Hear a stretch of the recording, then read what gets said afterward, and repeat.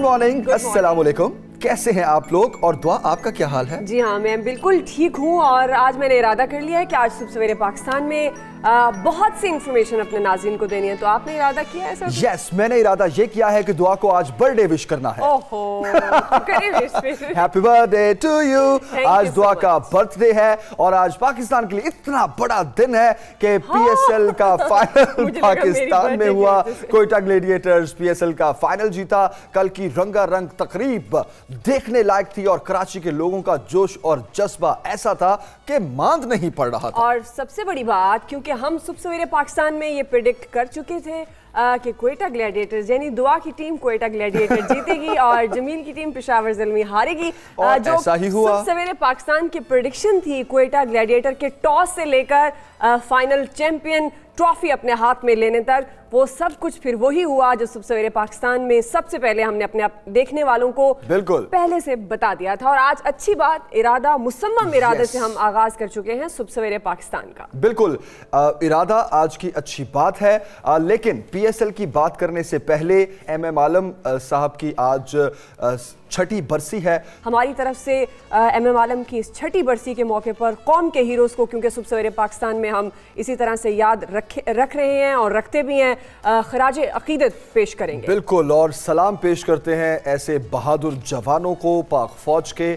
اور پاک فوج کو بھی سلام پیش کرتے ہیں۔ ایک بڑا ایونٹ پاکستان میں ہوا۔ پی ایس ایل کے آٹھ میچز پاکستان میں ہوئے، کراچی میں ہوئے۔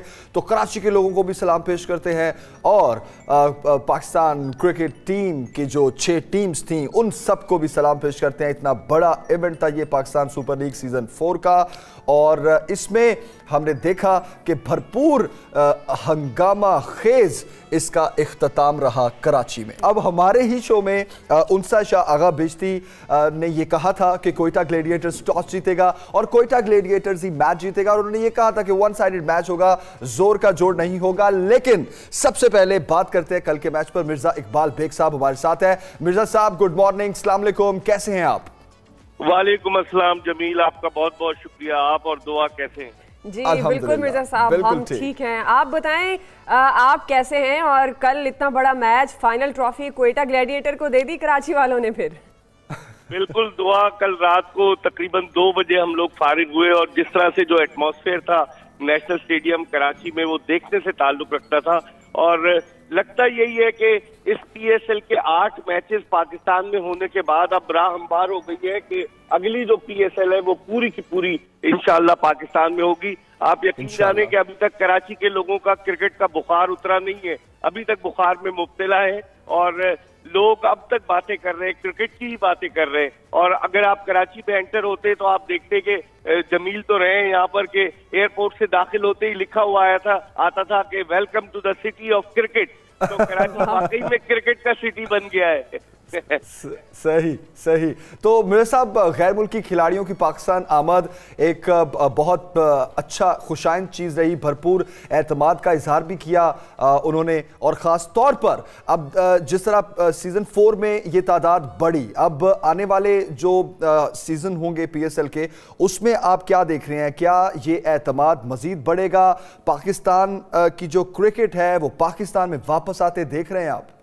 بالکل جمیل، انتالیس کرکٹرز نے کھیلنا تھا اس پی ایس ایل میں، سوائے اے بی ڈیویلیئرز کے، جن کی کمر میں تکلیف تھی، بقیہ تمام کے تمام کرکٹرز پاکستان آئے، جبکہ آپ کو یاد ہوگا، دو ہزار سترہ بھی بیشتر کرکٹرز نے آنے سے انکار کیا تھا، تو یہ بڑی خوشائن بات ہے۔ اور لگتا یہی ہے، جس میں ان میں آسٹریلین کرکٹرز بھی شامل تھے جو پاکستان آئے، اس میں انگلش کرکٹرز بھی شامل تھے، نیوزی لینڈ کے کرکٹرز بھی شامل تھے، ویسٹ انڈین تو آتے ہی رہتے ہیں، تو ساؤتھ افریقن کرکٹرز شامل تھے۔ تو جو اس بات کی غمازی کرتا ہے کہ پاکستان میں اب اگلے برس انشاءاللہ تمام کے تمام بین الاقوامی کھلاڑی آئیں گے۔ ایک برانڈ بن چکا ہے یہ پی ایس ایل اور اس برانڈ کی وجہ سے ہوتا یہی ہے کہ لوگ جو تھے وہ باتیں کر رہے تھے کہ اب P S L I P L کے مد مقابل آ گئی ہے۔ جس طرح سے کل چونتیس ہزار دو سو اٹھائیس تماشائیوں کی گنجائش والے نیشنل اسٹیڈیم میں تقریباً اڑتیس انتالیس ہزار لوگ موجود تھے۔ کھچا کچ بھرا ہوا تھا۔ Army chief general Qamar Javed Bajwa نے بھی میچ دیکھا۔ اس کے علاوہ وزیر اعلیٰ سے ساری سیاسی شخصیات نے میچ دیکھا۔ تو میں سمجھتا ہوں کہ ایک راہ ہموار ہو گئی ہے جمیل اور انشاءاللہ تعالیٰ اگلے برس دو ہزار بیس میں ٹوینٹی ٹوینٹی میں پوری پی ایس ایل پاکستان میں ہوگی۔ نہ صرف کراچی میں ہوگی دعا بلکہ لاہور ملتان فیصل آباد پشاور راول پنڈی یہاں پر بھی میچز ہونے چاہیے تاکہ یہاں کے شائقین کرکٹ بھی کرکٹ سے لطف اندوز ہو سکے۔ بہت بہت صحیح بات کر رہے ہیں آپ مرزا اقبال بیگ صاحب۔ اس میں تو کوئی شک نہیں رہا۔ دنیا کی سب سے بڑی لیگ بن گئی ہے کرکٹ کے پوائنٹ آف ویو سے اگر بات کریں۔ اور جس طرح کہ اب میچز دیکھے گئے غیر ملکی کھلاڑیوں کا اعتماد تھا۔ سب کو اگر کہا جائے well done Pakistan well done P S L تو یہ غلط نہیں ہوگا۔ بہت شکریہ مرزا اقبال آپ کے وقت کے لیے۔ اور کوئٹہ گلیڈیٹر پشاور زلمی فائنل میں کوئٹہ تیسری دفعہ پہنچی اور اس کے بعد کیا ہوا کہ دو دفعہ ٹرافی نہیں لے سکی لیکن فائنلی تیسری دفعہ ٹرافی سرفراز نے اپنے نام کر کوئٹہ گلیڈیٹرز نے جس طرح یہ میچ کھیلا، جیت اپنے نام کی، ٹرافی اپنے نام کی۔ اب اس سے پہلے صبح سویرے پاکستان میں جو پرڈکشنز کی گئیں کہ کوئٹہ گلیڈیٹرز فائنل جیتے گا، ٹرافی جیتے گا، اور بلکہ یہ بھی کہا گیا کہ ٹاس بھی جیتے گا۔ تو یہ ساری جو پرڈکشنز جی تھیں، جو سچ ثابت ہوئیں، آئیں۔ ذرا اس پہ ایک پیکج دیکھتے ہیں، پھر واپس آتے ہیں۔ پشاور ظلمی کا ہے وہ نائٹ آف سوڈ ہے۔ اس کے بعد جو ہے کوئٹہ کا ہے کنگ آف پینٹیکلز قابلہ جو وننگ ٹیم ہوگی وہ کوئٹہ گلیڈیٹر پشاور بھی جائے گا اور مجھے یہ بھی لگ رہا ہے کہ ٹانس بھی جیتے گا۔ اچھا۔, اچھا۔ اور میچ دونوں جو ہے وہ کوئٹہ کے حق میں ہیں۔ اور جی تو دونوں اس کے حق میں ہیں۔ تو یہ تھی جناب پریڈکشن جو کہ سولہ تاریخ کو دی۔ سب سویرے پاکستان جیت گیا۔ پاکستان میں انسا شاہ اور آغا بہشتی صاحب نے۔ تو ابھی ہمارے سے ٹیلی فون لائن پر دونوں ہی موجود ہیں۔ انسا پہلے آپ کی طرف آ جاتے ہیں۔ کیا بات ہے؟ آپ نے جو کہا وہ سچ ہوا۔ ٹاس بھی کوئٹہ جیتی اور اس کے بعد فائنل ٹرافی بھی کوئٹہ جیتی۔ میری ٹیم کو جتوانے کے لیے تھینک یو سو مچ السلام علیکم۔ وعلیکم السلام۔ گڈ مارننگ کیسی آپ انسا خیریت سے ہیں؟ یہ پرڈکشن تو ساری پوری کی پوری ڈٹو سچ ثابت ہو گئی۔ جی جی بہت خوشی ہو رہی ہے۔ کل کا میچ بھی بہت زبردست تھا اور پرڈکشن کی وجہ سے بھی خوشی ہو رہی ہے اور فائنل میچ بھی تھا۔ تو ویسے میں آپ کو بتایا تھا میں نے کہ میں کرکٹ لور تو نہیں ہوں لیکن میں نے پرڈکشن کی وجہ سے اور فائنل میچ کی وجہ سے جو ہے پورا میچ دیکھا۔ سیریمنی بھی دیکھی اور پورا میچ بھی دیکھا۔ اور کہاں دیکھا انسا؟ سٹیڈیم گئی آپ؟ نہیں نہیں نہیں اچھا ٹی وی انسا دیکھیں ایک بات تو ہمیں پتا ہے کہ ہم دونوں نے آپ کا انٹرسٹ پیدا کر دینا ہے کرکٹ میں جو کہ نہیں ہے آپ کا انٹرسٹ نہیں فائنل میچ تھا اور سب لوگ پہ اتنا جوش و خروش اور ہر کوئی پارٹیسپیٹ کر رہا تھا۔ اور اچھا لگ رہا تھا کہ انٹرنیشنل پلیئرز بھی آ کر ہمارے ملک میں آ کے کھیلا ہے انہوں نے اور اس طرح پارٹیسپیٹ کیا ہے۔ اور کراچی کی اسپیشلی رونقیں دیکھ کر دیکھنے والی تھی اور پہلے کی طرح لوگ بلا خوف و خطر لوگوں نے جو ہے آئے ہیں انجوائے کیا ہے اور بس امید ہے کہ انشاءاللہ آگے بھی جو پی ایس ایل کھیلے جائیں گے وہ اسی طرح پر رونق ہوں گے۔ بالکل صحیح۔ اچھا آگا بیسی صاحب کے پاس چلتے ہیں۔ آغا بیشتی صاحب نے تو یہ بھی کہا تھا کہ یہ میچ ون سائیڈڈ ہوگا۔ انسا نے کہا تھا زور کا جوڑ پڑے گا۔ لیکن آغا بھائی کیا بات ہے؟ کوئٹا گلیڈیٹرز ہی ٹاس جیتا ون سائیڈڈ ہی میچ ہوا اور ٹرافی بھی لے اڑا۔ جی بہت بہت شکریہ آپ کا اور دیکھنے والوں کا اور آپ سب کو میرا بہت بہت سلام پہنچے۔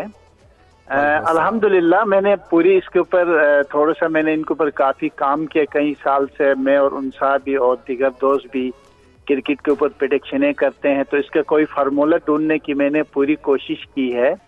اور اس فارمولہ کے تحت الحمدللہ، اور اس فارمولہ کے اوپر میں نے فٹ بال کے اوپر بھی کافی اس کو استعمال کیا۔ اور اس پی سی ایل میں بھی، کیونکہ میں انگلینڈ میں تھا بھی، تو مستقل اس کے اوپر کام کر رہا تھا۔ تو اب یہ نتیجہ آپ کے سامنے ہے، اور میں نے یہ کہا تھا، آسانی سے جیتیں گے اور کانس بھی جیتے گا۔ اور اور یہ کوئٹہ کے حق میں جا رہے اور کوپتان کے ستارے بہت بلند ہیں اور زبردست ہے یہ ایک مکمل تحقیقی علمی پیڈکشن ہے۔ اس کے اوپر کام کر رہا ہوں۔ آپ لوگ دعا کریں بس یہ جو میں نے اس کے اوپر کام کیا یہ فارمولا آگے ٹھیک آ جائے۔ اس کے اوپر تجرباتی طور پر یہ فی الحال کامیاب جا رہا ہے۔ اور الحمدللہ میں رب ذوالجلال کا شکر گزار ہوں کہ اس نے عزت دی ہے اور ہم نے جو علمی لحاظ سے جو پیشن گوئی کی تھی وہ من ان ہنڈریڈ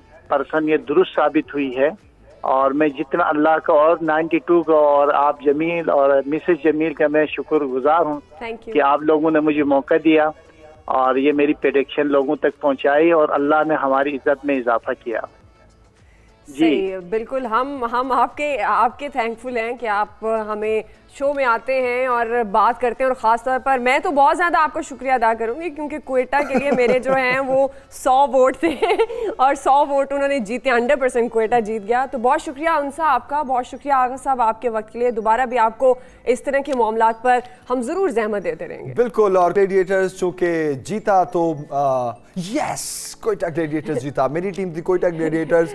دعا سپورٹ کر رہی تھی۔ دعا سپورٹ کر رہی تھی۔ پشاور زلمی کو۔ کوئی بات نہیں۔ تو اب بیٹر لک نیکسٹ ٹائم کوئی بات نہیں پشاور زلمی بھی جیت جائے گی۔ فوراں اپنی ترجیحات بدل لیتے ہیں جو کہ جمیل نے بدل لی۔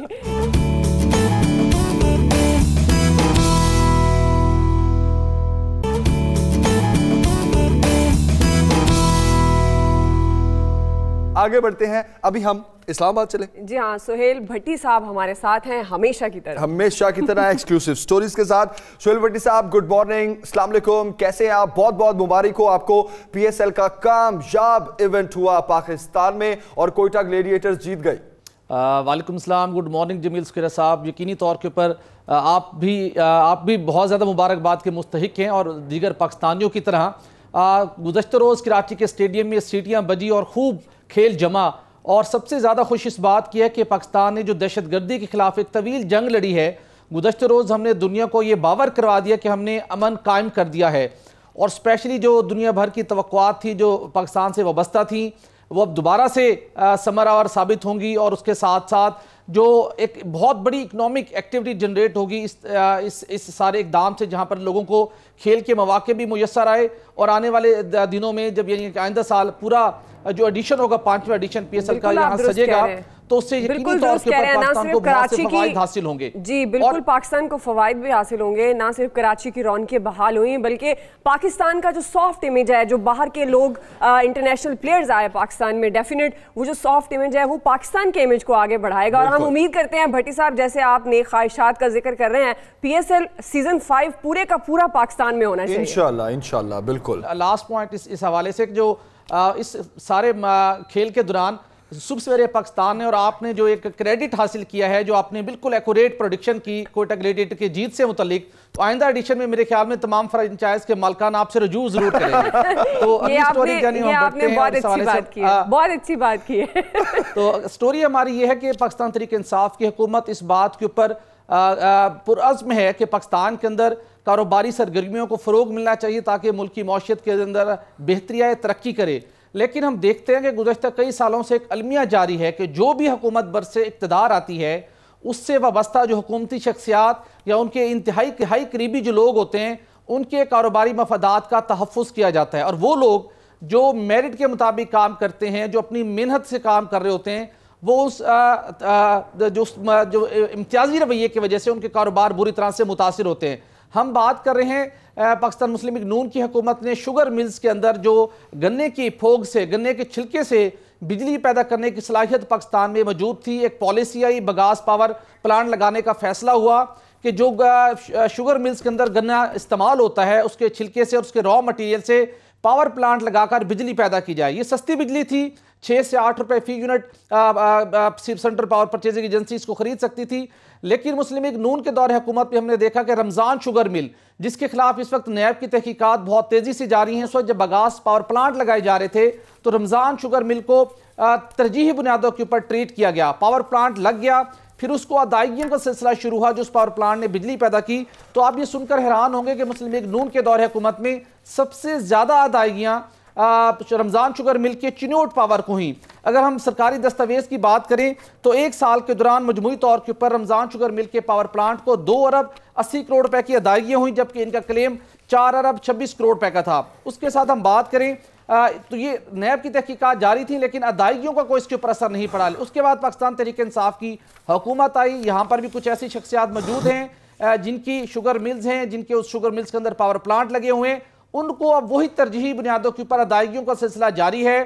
ان کو پریفرنشل ان کو ٹریٹمنٹ کیا جا رہا ہے جو کہ مسلم ایک نون کے دور حکومت میں یا گزشتہ ادوار میں ہوتا تھا۔ اگر جیسے ہم بات کریں، جے ڈی ڈبلیو ٹو ہے، جے ڈی ڈبلیو تھری ہے، جو بات اگر ہم بات کریں، رحیم یار خان شوگر مل کی، جس کا بگاس پاور پلانٹ بجلی پیدا کرتا ہے، تو اب ان کے شوگر مل کے پاور پلانٹ کو پریفرنشل ٹریٹمنٹ کیا جا رہا ہے۔ دیگر وہ لوگ جو پاکستان کی حکومت کی جانب سے دی گئی پالیسی کے مطابق جی۔ مجوزہ قانون کے مطابق کاروبار کرتے ہیں ان کے کاروبار بری طرح سے متاثر ہو رہے ہیں یہ ایک ٹیسٹ کیس ہم نے پیش کیا ہے جو کہ شوگر ملز کے اندر لگنے والے بگاس پاور پلانٹ سے متعلق ہے۔ اگر ہم جے ڈی ڈبلیو ٹو اور تھری کی بات کریں۔ جی۔ جی بھٹی جی، صاحب جی۔ ایک منٹ۔ میں اس سے پہلے مزید ڈیٹیل سے پہلے میں یہ کہنا چاہ رہا تھا کہ دیکھیں یہ جو جتنے باثر ہیں شوگر ملز مالکان جو ہیں نہ صرف وہ باثر ہیں بلکہ گورنمنٹ میں بھی بیٹھتے ہیں۔ پچھلی حکومتوں میں بھی ہم نے دیکھا کہ اسی طرح ترجیحی بنیادوں پر خود بھی گورنمنٹ میں ہیں خود ترجیحی بنیادوں پر ادائیگیاں بھی کر دیتے ہیں۔ اب تحریک انصاف کی گورنمنٹ ہے تو تحریک انصاف تو بات ہی انصاف کی کرتی ہے۔ باقی لوگ سفر کر رہے ہیں ان کو پیسوں کی ادائیگی نہیں ہے۔ اور رمضان شوگر ملز کو اس طرح ترجیحی بنیادوں پر پیمنٹس کر دینا۔ کیا کہیں گے آپ اس پر؟ لائک ڈسکریمنیشن نہیں نظر آ رہی۔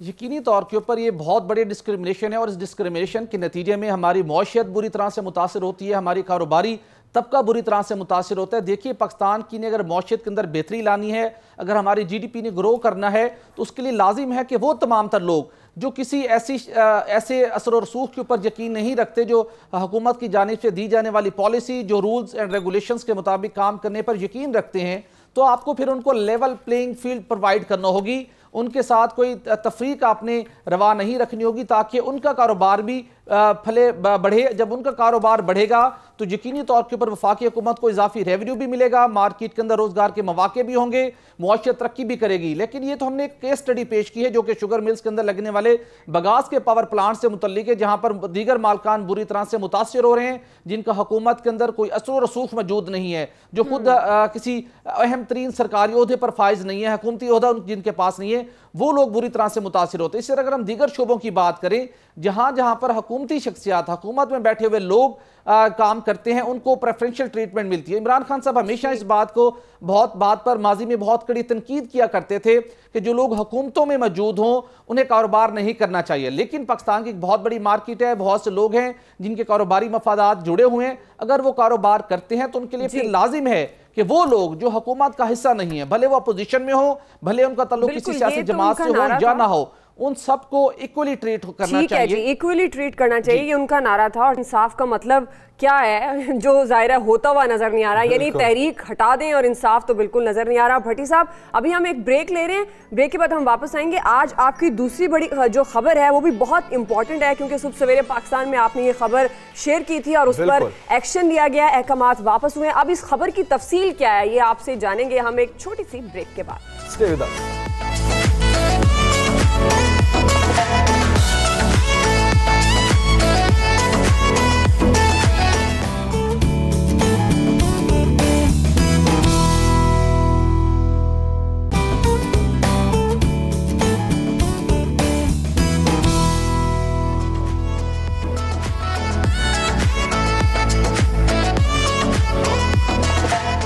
ویلکم بیک جی ایک بار پھر خوش آمدید صبح سویرے پاکستان میں۔ سویل بٹی صاحب، دوسری خبر کیا ہے؟ صبح سویرے پاکستان کی یہ خبر تھی جس پر ایکشن لیا گیا۔ وزارت قانون نے متنازع احکامات واپس لے لیے۔ تفصیل کیا ہے؟ جی سکر صاحب چار مارچ کو صبح سویرے پاکستان میں ہم نے یہ خبر بریک کی تھی کہ وزیر اعظم عمران خان صاحب کی ملک بھر کے اندر جاری احتساب کی مہم کو ایک بڑا دھچکا لگا ہے۔ چونکہ پنجاب کے اندر، پنجاب اینٹی کرپشن اسٹیبلشمنٹ نے اربوں روپے کے سکینڈل خلاف بڑے تیز رفتاری کے ساتھ کاروائیوں کا آغاز کیا تھا اور صرف چار ماہ کے دوران جب D G anti corruption establishment Punjab, Hussain Asghar تعینات ہوئے تھے انہوں نے صرف چار ماہ کے عرصے میں اٹھاون اور روپے سے زائد کی ریکوری کی اور بڑے بڑے تگڑے لوگوں کے اوپر ہاتھ ڈالا گیا اور اس بات سے ہٹ کے یہ کسی شخصیت کا کس جماعت جماعت کے ساتھ تعلق ہے؟ اس کے اندر چھ ایسے ڈی ایم جی گروپ سے وابستہ بیوروکریٹس بھی تھے جن کے خلاف اربوں روپے کی سکینڈل کی تحقیقات آگے بڑھ رہی تھی اور ایسے موقع کے اوپر وزارت قانون سے خلاف ضابطہ ایک ایک مراسلہ سال کروایا گیا، جس کی کاپی ہمارے پاس موجود ہے اور جو ہم نے پروگرام میں اپنے ناظرین کے ساتھ شیئر کی تھی،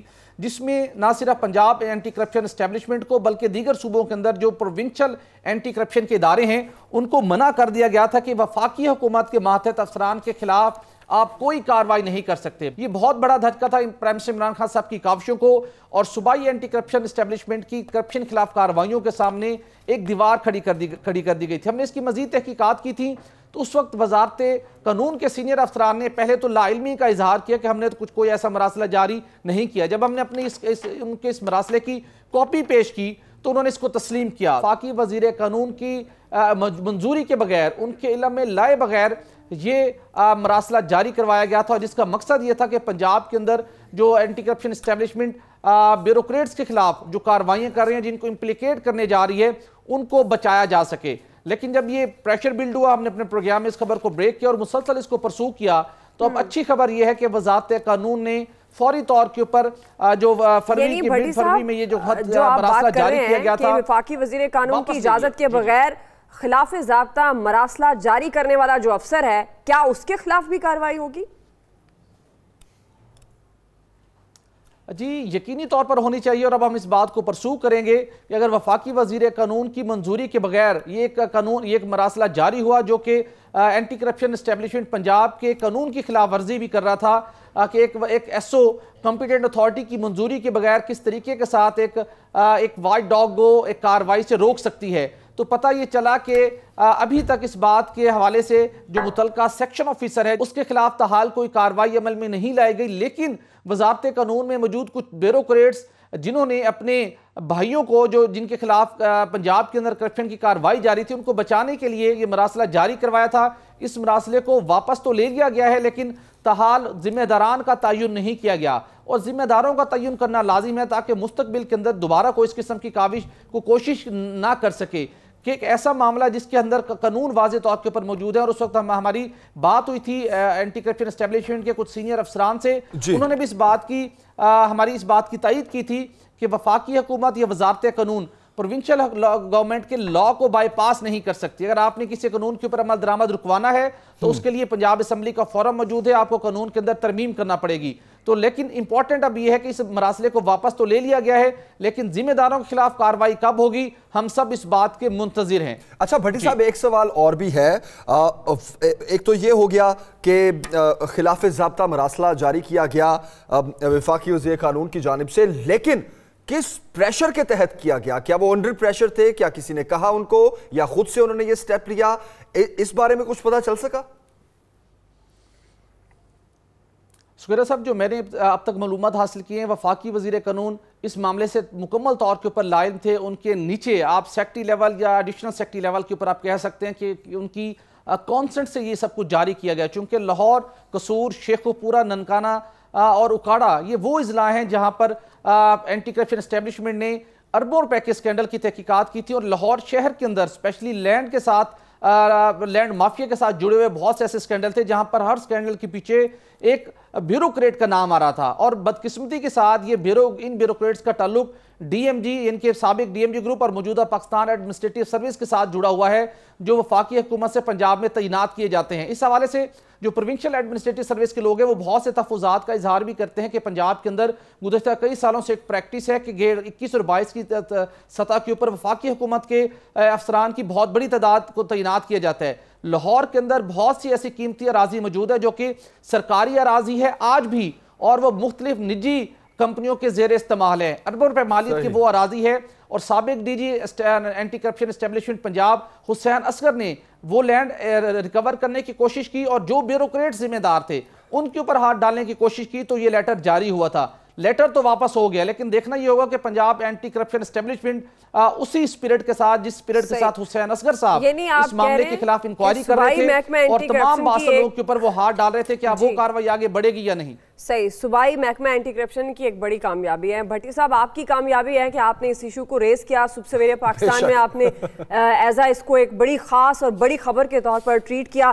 تو جیسے آپ کہہ رہے ہیں کہ آگے بھی اس کو اسی طرح سے اسی سپیرٹ کے ساتھ کام کرنا چاہیے صوبائی محکمہ اینٹی کرپشن کو اگر بیوروکریسی کو اصل حکومت کہا جاتا ہے بھٹی صاحب تو آپ آگے کیا دیکھ رہے ہیں؟ یہ ان کی کامیابی ہے اور اس کے بعد وہ اس معاملے کو آگے کیسے لے کر چلیں گے؟ کیا آپ کو ایسا تو نہیں لگتا کہ اس میں جیسے کہ ہم بار بار بات کرتے ہیں کہ بہت سے بڑے انوالو ہوتے ہیں اور معاملات پھر ویسے کے ویسے ہو جاتے ہیں۔ کیا ایسی سچویشن تو نظر نہیں آ رہی آگے؟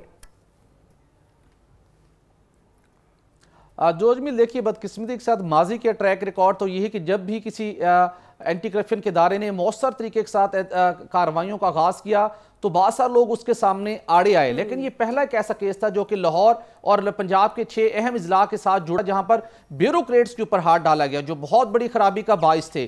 اینٹی کرپشن اسٹیبلشمنٹ پنجاب نے اپنا چار ماہ کے دوران یہ اسٹیبلش کیا ہے کہ اگر انہیں ان کے سامنے کوئی رکاوٹ کھڑی نہ کی جائے اور بلا امتیاز کاروائی کرنے کی اجازت دی جائے، تو نیب لاہور کے مقابلے میں وہ زیادہ پر اثر طریقے کے ساتھ کاروائیاں کر سکتے ہیں اور جتنا record anti corruption establishment Punjab کے پاس موجود ہے، شاید وہ ریکارڈ ابھی تک نیب کو بھی حاصل نہ ہوا ہو۔ اربوں روپے کی راضی ہے، اٹھاون ارب روپے کی ریکوری صرف چار ماہ کے دوران کی گئی۔ لیکن اگر ماضی سے برعکس اس کیس کو آگے بڑھنے دیا جاتا ہے اور صرف لاہور شہر کو ٹیسٹ کیس بنا کر وہاں پر بھلے کسی بھی شخص کا تعلق مسلم لیگ نون سے ہو پاکستان طریق انصاف سے ہو یا پاکستان پیپلز پارٹی ہو اور چاہے کسی بھی گروپ کا بیوروکریٹ ہو اس کے خلاف اگر مؤثر طریقے سے ہم کاروائی کرنے میں کامیاب ہو جاتے ہیں تو آپ کو کرپشن کے اندر خاطر خواہ کمی ملے گی۔ اور اگر ہم لاہور سمیت چھ بڑے اضلاع کی بات کریں اگر یہاں پر کرپشن میں کمی آ جاتی ہے تو اس کی ریفلیکشن ملک بھر کے اندر ملے گی اور اس کے ساتھ ساتھ سندھ کے اندر بھی اینٹی کرپشن اسٹیبلشمنٹ موجود ہے۔ خیبر پختونخوا میں موجود ہے اور بلوچستان کے اندر بھی۔ تو ان اداروں کے اوپر بھی ایک پریشر بڑھے گا کہ آپ بھی تمام لوگوں کے خلاف بلا امتیاز کرپشن کی کاروائیاں کریں، جو آپ کو مینڈیٹ دیا گیا ہے، جو قانون کے مطابق آپ کو، آپ کا ایک مینڈیٹ ہے۔ تو یہ بہت بڑا، ایک بہت بڑی ایگزامپل سیٹ ہو سکتی ہے۔ سلوٹی صاحب تھینک یو سو مچ بہت شکریہ آپ کا۔ یہ دو خبریں تھیں جو آپ ہمارے لیے لے کر آئے۔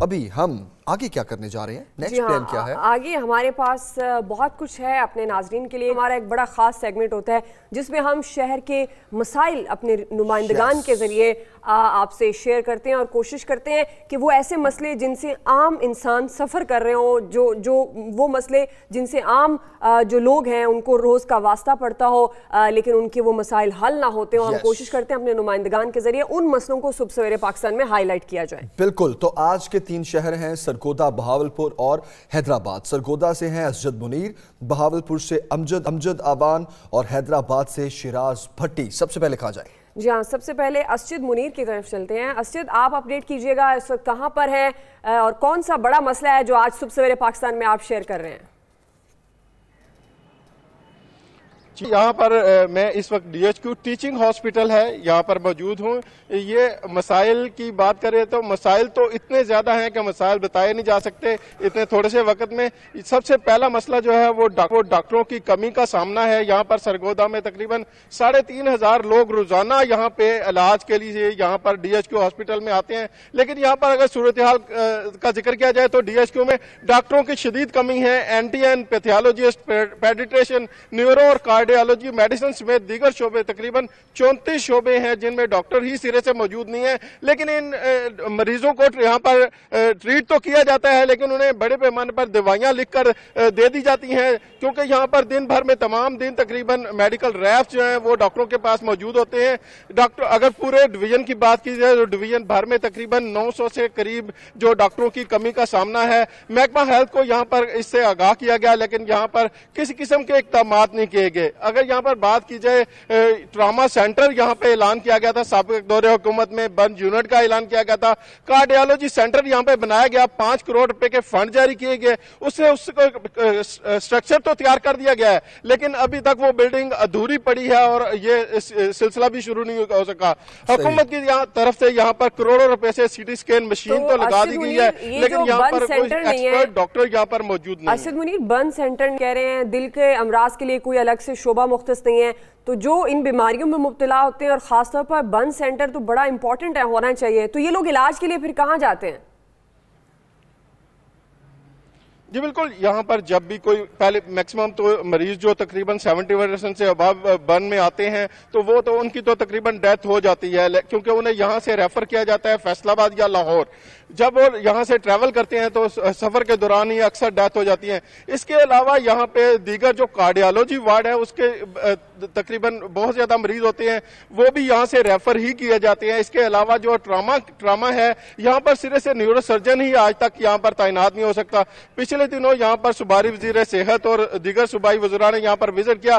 تو اس دوران تو صورتحال ٹھیک دکھائی جاتی ہے۔ ان کو تقریباً صفائی کا نظام بھی دکھایا جاتا ہے۔ باقی چیزوں کا بھی بتایا جاتا ہے۔ مریضوں کو وہاں پر قریب نہیں آنے دیا جاتا تاکہ وہ اپنے مسائل نہ بتا سکیں۔ لیکن یہاں پر مسائل جو ہیں ان کا احاطہ کرنا ناممکن ہے کیونکہ مسائل ڈھیر سارے ہیں۔ یہاں پر ابھی بھی تقریباً دن کے دس بج رہے ہیں لیکن یہ ڈاکٹر جو ہیں ابھی تک بھی یہاں پر موجود نہیں ہیں۔ ابھی ہم نے ہاسپٹل کا وزٹ کیا ہے۔ تو مریض تو بچارے نو بجے آپ نے ٹھیک ہے اسجد منیر۔ ٹھیک ہے۔ ٹھیک ہے اسجد منیر۔ ضلعی ہیڈ کوارٹر اسپتال سرگودا کا آپ یہ حال سنا رہے تھے۔ نہ صرف وہاں پر سہولیات کم ہیں بلکہ ہیں ہی نہیں۔ اور پھر اگر کوئی وزٹ کے لیے آتا ہے تو کاغذی کاروائی میں اور وزٹ کروا کے تو سب کچھ دکھا دیا جاتا ہے، لیکن حقیقت میں کچھ نہیں ہے۔ ایون لوگوں کو بھی ان ہائر اتھارٹیز کے پاس تک نہیں جانے دیا جاتا کہ وہ اپنی شکایت ہی سنا سکیں۔ آپ اسجد ہمیں اپڈیٹ کر رہے تھے، سرگودا سے بہاولپور کا رخ کرتے ہیں۔ امجد آوان، کیا بڑا مسئلہ بہاولپور کا آج ڈسکس کریں گے آپ؟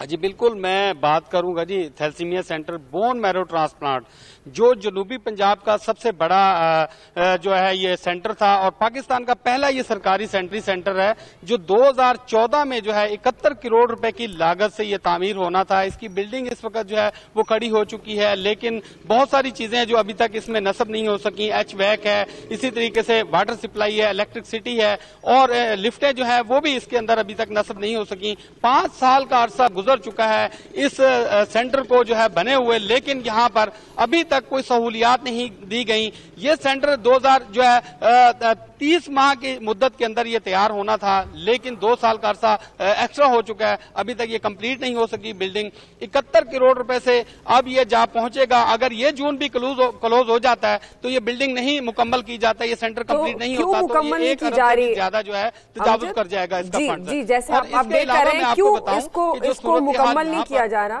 کیوں اس کو مکمل نہیں کیا جا رہا؟ جی بالکل، اس کی جو اصل میں جو صورتحال ہے اس کی، یہ جب بلڈنگ بننا شروع ہوئی تھی تو یہاں پر جو ڈاکٹرز تھے، اس کے متعلقہ شعبہ کے جو تھلسیاں میں ان کو ٹریننگ دی جانی تھی۔ ان کو آج تک ٹریننگ ہی نہیں دی گئی۔ ابھی لاسٹ ایئر میں جو ہے N I B D N I B D جی جو national institute blood diseases centre Karachi میں ہے، ان کے ساتھ ایک پنجاب حکومت کا ایم او یو سائن ہوا ہے۔ تو اب وہ لوگ جو ہے، یہاں سے ڈاکٹر ٹریننگ کے لیے جائیں گے۔ ایک سال وہاں ٹریننگ ہوگی۔ پھر وہاں کی جو ٹیم ہے، وہ یہاں آ کر کام کرے گی۔ یعنی یہ یہ کام جو چار سال پہلے ہونا تھا، وہ اب جا کر ہو رہا ہے۔ بلڈنگ جو اس وقت اسٹرکچر جو ہے تیار ہو چکا ہے۔ دوسری جانب جو مریض ہیں، وہ بیچارے سفر کر رہے ہیں۔ اس وقت جو صورتحال بھاولپور کے پرانے تھیلسیمیا سینٹر کی ہے، اس میں پچیس سو جو بچے تھیلسیمیا کے ہیں، وہ رجسٹر اور خوفناک بات یہ ہے کہ سترہ سو بچوں کو جو ہے، وہ ایکٹیولی جو ہے بلڈ اس وقت جو ہے ان کو دیا جا رہا ہے۔ صورتحال اس وقت ہماری جب بات ہوئی انتظامیہ کے ساتھ جو تھیلسیمیا یونٹ کے آئرلینڈ سے ایک ٹریننگ وہاں سے ڈاکٹر ٹریننگ کر کے آئے تھیلسیمیا کے ان سے ہماری بات ہوئی ان کا کہنا تھا یہ سینٹر اگر بن جاتا ہے تو یہاں پر جو پچیس سے تیس لاکھ روپے جو لگتے ہیں ایک پرائیویٹ بچے کے اوپر علاج کرانے کے لیے جی۔ یہاں پر فری آف کاسٹ ہو سکتا ہے کیونکہ یہ پاکستان کا پہلا سینٹر ہے یہاں پر ٹریننگ دی جانی تھی ڈاکٹرز کو اور وہ یہاں پر کام کرتے اور ان بچوں کا علاج ہو سکتا۔ لیکن حکومت اب کروڑوں روپے ان کے اوپر تو خرچ کر رہی ہے سینٹر کے اوپر لیکن یہ جو بیماری ہے، ڈاکٹرز کا یہ بھی کہنا ہے کہ اگر اس کے اوپر آگاہی دی جائے اس بیماری بالکل صحیح ہے بالکل صحیح ہے۔ آگاہی کی بھی ضرورت ہے بلکہ اب جتنا اکتر کروڑ روپے کی لاغت سے بننے والا یہ جنوبی پنجاب کا سب سے بڑا پاکستان کا پہلا سرکاری یہ سینٹر ہے۔ چار سال سے زائد عرصہ گزر چکا ہے لیکن کمپلیٹ نہیں ہو رہا۔ یہ امجد آبان بہاولپور سے آپ ہمیں اپڈیٹ کرے تھے حیدرآباد کا رخ کرتے ہیں۔ شراز بھٹی کے پاس چلتے ہیں۔ شراز کیا بڑا مسئلہ حیدرآباد کا ڈسکس کریں گے آج؟ جی میں آج جو مسئلہ ڈسکس کروں گا، اس کا تعلق تو حیدرآباد شہر کی خوبصورتی سے ہے۔ ماضی میں ضلع حکومت نے حیدرآباد کے چوراہوں کو خوبصورت بنانے کے لیے کے لیے انہیں شناخت دینے کے لیے مختلف چوراہوں پہ جو مجسمے قائم کیے گئے تھے، یادگاریں قائم کی گئی تھیں۔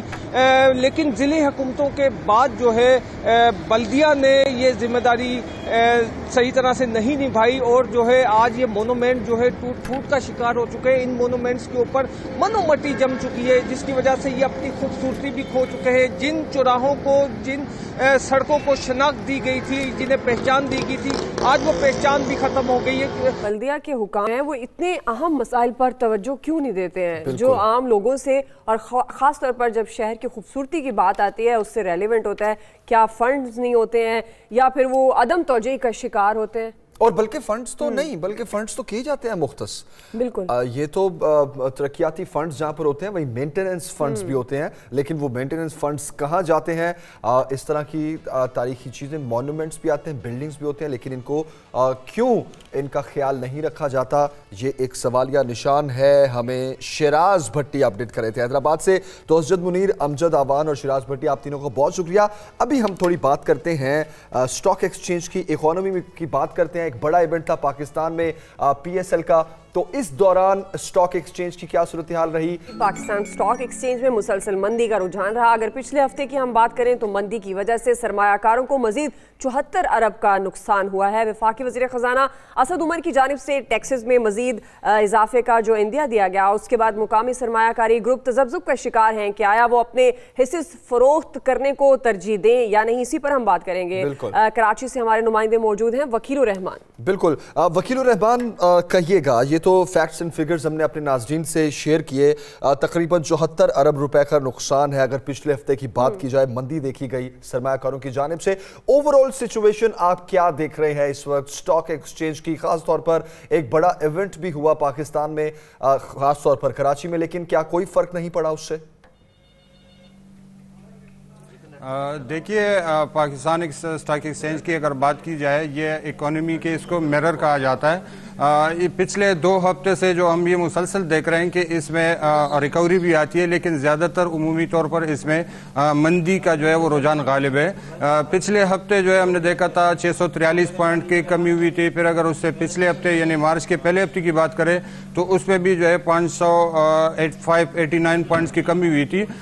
تو یہ جو مسلسل جو ہے وہ بیچ میں ریکوری وقفے سے بھی آتی ہے، لیکن عمومی عمومی طور پہ جو سرمایہ کاروں سے ہماری بات ہوئی ہے وہ تھوڑے سے جو ہے کچھ ایشوز ہیں جس کی وجہ سے وہ ان کا اعتماد اس طرح بحال نہیں ہو سکا ہے۔ ان ایشوز کی اگر بات کی جائے، اس میں ایک تو آئی ایم ایف سے جو پاکستان کے مذاکرات چل رہے ہیں اس میں ابھی تک صورتحال جو ہے وہ غیر یقینی ہے۔ ابھی تک یہ اس کی جو ہے صورتحال معلوم نہیں ہو سکی ہے کہ آیا اس میں کتنی پیش رفت ہو رہی ہے۔ بیچ میں یہ بات جاتی ہے کہ شاید آئی ایم ایف کی طرف سے جو ہے وہ سخت قسم کی شرائط عائد کی جانے والی ہے۔ تو جس طرح پچھلے پچھلے دنوں جو ہے وہ اسد عمر صاحب بھی کہہ چکے ہیں کہ ڈالر کی قدر جو ہے وہ آئی ایم ایف کی طرف سے کہا جا رہا ہے کہ ڈالر کی قدر بڑھائی جائے۔ اسی طرح جو ہے اگر بات کی جائے پاکستان اور انڈیا کے درمیان جو ہے یہ پچھلے کافی دنوں سے جو ہے ایک کشیدگی کا ماحول ہے، اس کی وجہ سے بھی سرمایہ کار جو ہے وہ نئی سرمایہ کاری سے جو ہے وہ محتاط ہو کر کام کر رہے ہیں۔ اس کے علاوہ فائنانشل ایکشن ٹاسک فورس جو ہے وہ چوبیس مارک کو ان کا جو یہاں علاقائی ان کا ایسوسیشن ہے ایشیا پیسیفک کا جوائنٹ جو ان کا گروپ ہے ان کی بھی جو ہے چوبیس کو میٹنگ ہونے والی ہے تو اس میں بھی جو ہے پاکستان کے بارے میں ان کے جو ہے وہ کئی ان کے ریزرویشن ہے یا ان کے مذاکرات کا کیا نتیجہ نکلتا ہے تو یہ اس طرح کے جو ہے بہت سارے ایشوز ہیں جس کی وجہ سے رحمان آپ نے بڑا کیٹاگوریکلی بتا دیا کہ یہ یہ وجوہات ہیں جو سٹاک مارکیٹ میں مندی ہے۔ ایسی صورتحال ہے کب سے اور آپ کی سرمایہ کاروں سے بات ہوئی؟ جو جو تحفظات ان کو ہیں، کیا انہوں نے اعلیٰ حکام تک، اگر ہم بات کرتے ہیں وزیر خزانہ کی، ان تک پہنچانے کی کوشش کی تاکہ یہ جو ابھی مندی کی صورتحال ہے سٹاک مارکیٹ میں اس کو کم کیا جا سکے؟ دیکھیے سٹاک ایکسچینج میں اگر دیکھا جائے تو یہ فروری کے، فروری سے مسلسل جو ہے یہ ڈکلائن چل رہا ہے۔ چار فروری کو یہ ہائیسٹ جو اس کا لیول تھا، اکتیس ہزار چار سو کی لیول پہ تھا۔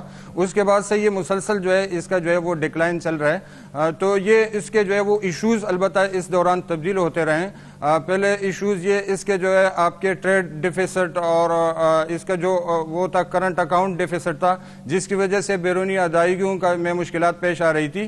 اس میں جو ہے وہ صورتحال کافی حد تک جو ہے وہ اب کنٹرول میں آ گئی ہے۔ پاکستان کو سعودی عرب سے تین ارب ڈالر مل چکے ہیں۔ اسی طرح یو اے ای کی طرف سے دو ارب ڈالر مل چکے ہیں۔ لیکن اس کے باوجود آئی میف سے جو معاملات ابھی تک رکے ہوئے ہیں اس کی وجہ سے کیونکہ وہ ایک آپ کے سمبولکلی جو ہے وہ انویسٹر کو جو جو ہے وہ ایفیکٹ کرتا ہے. انویسٹر اور اسی طرح دوسرے مالیاتی ادارے ہیں وہ آئی ایم ایف کو بڑی اہمیت دیتے ہیں اس کے کریڈیبلٹی ہوتی ہے. تو اس وجہ سے جو ہے وہ ان تمام کے باوجود جو ہے یہ ایشو جو ہے وہ اس کو جو ہے بڑی اہمیت دے رہے ہیں اور وہ ابھی تک جو ہے محتاط اور وہ جو ویٹ اینڈ سی والی بالکل صحیح ہے ٹھیک ہے وکیل الرحمان بہت شکریہ آپ کا پاکستان سٹاک ایکسچینج سلسل مندی کا رجحان دیکھا جا رہا ہے اور خاص طور پر جو پوائنٹ وکیل الرحمان نے اٹھایا یہ جی۔ واقعی ویلڈ ہے۔ آئی ایم ایف کن شرائط پر ہمیں قرضہ دے گا؟ بہت سے انویسٹرز اس انتظار میں بیٹھے ہوتے ہیں کہ آنے والے کچھ مہینوں میں پاکستان کی معیشت کیا رخ اختیار کرے گی تو اس کے بعد وہ اپنی انویسٹمنٹ کرتے ہیں۔ تو آپ ہمیں اپڈیٹ کرے تھے وکیل الرحمان بہت شکریہ آپ کا۔ جی ہاں اور ابھی ہم ایک بریک لے رہے ہیں۔ بریک کے بعد ہم واپس آئیں گے۔ آج آپ نے ہمارے سیٹ پہ مختلف قسم کی چیزیں دیکھی ہیں تو اس سے آپ کو اندازہ ہوا ہوگا کہ آج ہمارے ساتھ بہت خاص مہمان ہیں اور ان سے ہم بہت ہی انفارمیٹیو ڈسکشن کرنے والے ہیں جو آپ سے ہم سب سے ریلیٹڈ ہے۔ خاص طور پر جب ہم بات کرتے ہیں بیماریوں سے بیماریوں کو لے کر تو ہم نے اپنی ہیلدی لائف کیسے گزارنی ہے۔ بہت سے بہت سی چیزیں ہم آپ کو گائیڈ کرتے رہتے ہیں۔ وہ بہت سی فیلڈ ہوتی ہیں۔ ڈاکٹر ہاں۔ ڈاکٹری کی فیلڈ ہوتی ہے میڈیسن کی فیلڈ ہوتی ہے جس میں ہم اپنے ناظرین کو بتاتے رہتے ہیں۔ لیکن آج کچھ خاص ہے۔ وہ یہ ہے کہ ہم ہومیوپیتھی کی بات کریں گے اور جو ہمارے مہمان ہیں وہ سپیشلی بھارت سے آئے ہیں۔ تو اس لیے بہت ہی انٹرسٹنگ بہت انٹرسٹنگ باتیں کریں گے ہم۔ جی۔ سے بریک لیتے ہیں۔ بریک کے بعد واپس آتے ہیں۔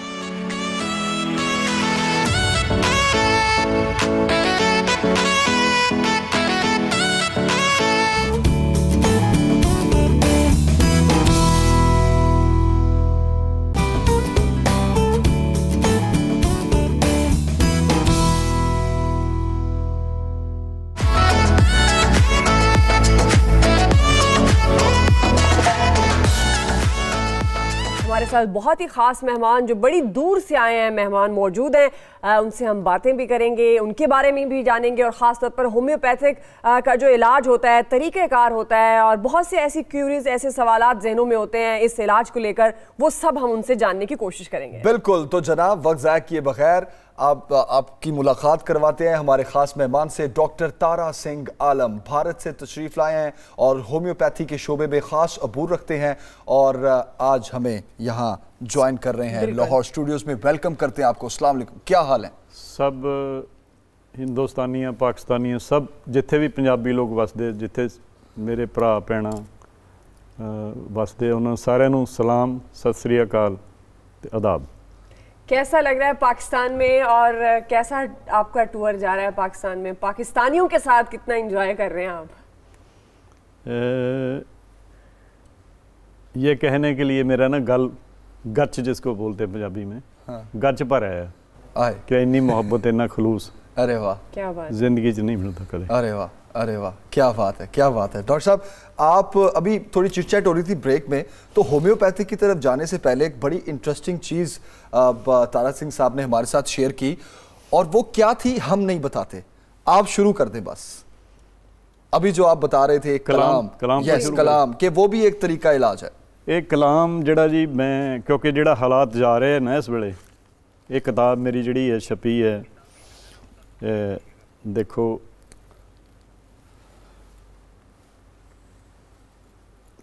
2006 ਦੇ ਵਿੱਚ। ਅੱਛਾ। ਉਦੋਂ ਕੋਈ ਵੀ ਹਿਲਜੁਲ ਥੋੜੀ ਬਹੁਤੀ ਹੋਊਗੀ ਸਾਡੇ ਜਾਪਸ ਵਿੱਚ ਹੀ। ਠੀਕ ਹੈ। ਇਹ ਉਦੋਂ ਲਿਖੀ ਤੇ ਸ਼ਾਇਰ ਨੂੰ ਹਾਂਜੀ ਇਹ ਕਿਤਾਬ ਪੂਰੀ ਦੀ ਪੂਰੀ ਉਦੋਂ ਲਿਖੀ ਹੈ। ਇਸ ਕਿਤਾਬ ਦਾ ਪ੍ਰੀਫੇਸ ਜਿਹੜਾ ਮੇਰਾ ਮੇਰੇ ਦੋਸਤ ਹੀ ਨੇ ਉਹ। ਅੱਛਾ। ਬੜੇ ਜਾਣੇ ਮਾਨੇ ਵਰਲਡ ਵਾਈਡ ਸੁਰਜੀਤ ਪਾਤਰ ਉਹਨਾਂ ਨੇ ਲਿਖਿਆ। ਸਹੀ ਸਹੀ। ਇਹਦਾ ਨਾਮ ਆਲਮੀ ਪ੍ਰਵਾਜ਼ ਹੈ। ਸਹੀ। ਪੰਜਾਬੀ ਦੇ ਵਿੱਚ ਹੈ। ਹੂੰ। ਗੁਰਮੁਖੀ ਚ। ਤੇ ਇਹਦੇ ਚ ਮੈਂ ਦੋ ਲਾਈਨਾਂ ਸੁਣਾਉਂਗਾ ਫਿਰ ਆਪਾਂ ਹੋਮਪੈਥੀ ਡਿਸ ਕਰਾਂਗੇ। ਬਿਲਕੁਲ। ਇਸ ਗੀਤ ਆ ਮੇਰਾ ਕਿ ਮੈਂ ਗੀਤ ਮੁਖਾਤਬ ਕਰਦਾ ਹਾਂ ਹਿੰਦ ਪਾਕ ਦੀਆਂ ਸਰਕਾਰਾਂ ਨੂੰ। ਵਾਹ। ਸੁਣੋ ਦਿਲ ਚੋਂ ਉੱਠਦੀਆਂ ਆਹਾਂ ਨੂੰ ਸੁਣੀ ਦੁਖੀ ਜਨਤਾ ਦੀਆਂ ਪੁਕਾਰਾਂ ਨੂੰ। ਜੇ ਰਲ ਕੇ ਰਹਿੰਦੇ ਹੁਣ ਤਾਂ ਹੀ ਵਾਹ। ਸਾਰੇ ਜੱਗ ਵਿੱਚ ਨਾਮ ਕਮਾ ਲੈਂਦੇ। ਕੀ ਬਾਤ ਹੈ। ਜੇ ਰਲ ਕੇ ਰਹਿੰਦੇ ਹੁਣ ਤਾਂ ਹੀ ਸਾਰੇ ਜੱਗ ਵਿੱਚ ਨਾਮ ਕਮਾ ਲੈਂਦੇ। ਤੁਸੀਂ ਇੱਕ ਕਸ਼ਮੀਰ ਲਈ ਲੜਦੇ ਹੋ ਤੇ ਕਈ ਕਸ਼ਮੀਰ ਬਣਾ ਲੈਂਦੇ। ਵਾਹ ਵਾਹ ਕੀ ਬਾਤ। ਰਲ ਬੈਠੋ ਰਲ ਬੈਠੋ ਹਲੇ ਵੀ ਦੇਰ ਨਹੀਂ। ਤੋੜੋ ਸਰਹੱਦ ਤੇ ਲੱਗੀਆਂ ਤਾਰਾਂ ਨੂੰ। ਮੈਂ ਗੀਤ ਮੁਖਾਤਬ ਕਰਦਾ ਹਿੰਦ ਪਾਕ ਦੀ ਸਰਕਾਰਾਂ ਨੂੰ। خوبصورت بات خوبصورت بات کیا بات ہے؟ تارا سنگھ صاحب اچھا ذرا جلدی سے ہمیں یہ بتا دیں کتابیں آپ نے لکھی آپ مصنف بھی ہیں شاعر بھی ہیں تو کیا کیا مجموعہ ہے؟ ہومیوپیتھک پہ بھی بہت آپ نے لکھا۔ چھ کتابیں میری جڑیاں آ چکی ہیں پوئٹری تے۔ دو کتابیں فلسفی تے ایک دا نام فلسفی دا ہے پہلی کتاب جڑی چت ٹکانے رکھی رکھیے چتروں نو ٹھکانے رکھیے ਠੀਕ ਉਹਦਾ ਉਹਦੀ ਟ੍ਰਾਂਸਲੇਸ਼ਨ ਆ ਪਈ ਹੈ version meditation talking to God God okay ਇਹ ਯੋਗਾ ਟਾਈਪ کا؟ نہیں یوگا ٹائپ نہیں جیسے ہاں۔ ریلیکس کیسے کرنا مائنڈ کو وچاروں کے اچھا، ساتھ۔ اچھا واہ ویری نائس ریلیکس کرنے کے لیے کوئی چوکڑی یا کوئی جگہ نہیں چاہیے۔ آپ کا مائنڈ جو ہے وہ خالی کیسے کرنا ہے؟ بالکل صحیح۔ وہ ہے اس میں۔ صحیح صحیح صحیح۔ دوسری کتاب ہے اومنی پریزنٹ ਇਹਦੀ ਪੰਜਾਬੀ ਵਰਜਨ ਹੈਗੇ ਰੱਬ ਦੇ ਦਰਸ਼ਨ ਰੱਬ ਦੇ درشن؟ ਅੱਛਾ। ਇਸ ਕਿਤਾਬ ਚ ਕੀ ਹੈ? ਇਸ ਕਿਤਾਬ ਦੇ ਵਿੱਚ ਗੁਰੂ ਗ੍ਰੰਥ ਸਾਹਿਬ ਦੇ ਵਿੱਚ ਜਿਹੜੀ ਜਿਹੜੀ ਫਿਲਾਸਫੀ ਲਿਖੀ ਹੈ ਉਹ ਸਾਂਝੀ ਬਲਤ ਹੈ। ਕਿ ਉਹ ਗੁਰੂ ਗ੍ਰੰਥ ਸਾਹਿਬ ਵਿੱਚ ਸੱਤ ਮੁਸਲਮਾਨਾਂ ਦਾ ਕਲਾਮ ਹੈ। ਅੱਛਾ। ਤੇ 6 ਗੁਰੂਆਂ ਦੀ ਬਾਣੀ ਹੈ। ਅੱਛਾ ਅੱਛਾ ਮਤਲਬ ਉਹਦੇ ਚ ਕੋਈ ਮਿਨੋਰਟੀ ਤੇ ਮੈਜੋਰਟੀ ਦਾ ਕੋਈ ਚੱਕਰ ਨਹੀਂ ਹੈ। ਸਹੀ ਤੇ ਉਹਦੇ ਚ ਜਿਹੜੇ 30 ਭਗਤ ਆ ਉਹਨਾਂ ਦੀ ਬਾਣੀ 30 ਭਗਤਾਂ ਵਿੱਚ ਸੱਤ ਮੁਸਲਮਾਨ ਹੈ। ਬਾਬਾ ਫਰੀਦ ਹੈ ਬਾਬਾ ਕਰੀ ਕਬੀਰ ਹੈ ਹਾਂਜੀ ਜੀ ਜੀ। ਬਾਬਾ ਫਰੀਦ ਜੀ ਬਾਰੇ ਤੇ ਜਾਣਦੇ ਹੋ ਤੁਸੀਂ? ਜੀ ਜੀ ਜੀ ਠੀਕ ਹੈ ਨਾ? ਬਿਲਕੁਲ। ਫਰੀਦ ਦਾ ਕਾਲੇ ਮੈਂਡੇ ਕੱਪੜੇ ਕਾਲਾ ਮੈਂਡਾ ਵੇਸ ਗੁਨੀ ਭਰਿਆ ਮੈਂ ਫਿਰਾਂ ਲੋਕ ਕਹਿਣ ਦਰਵੇਸ਼। ਵਾਹ ਕੀ ਬਾਤ।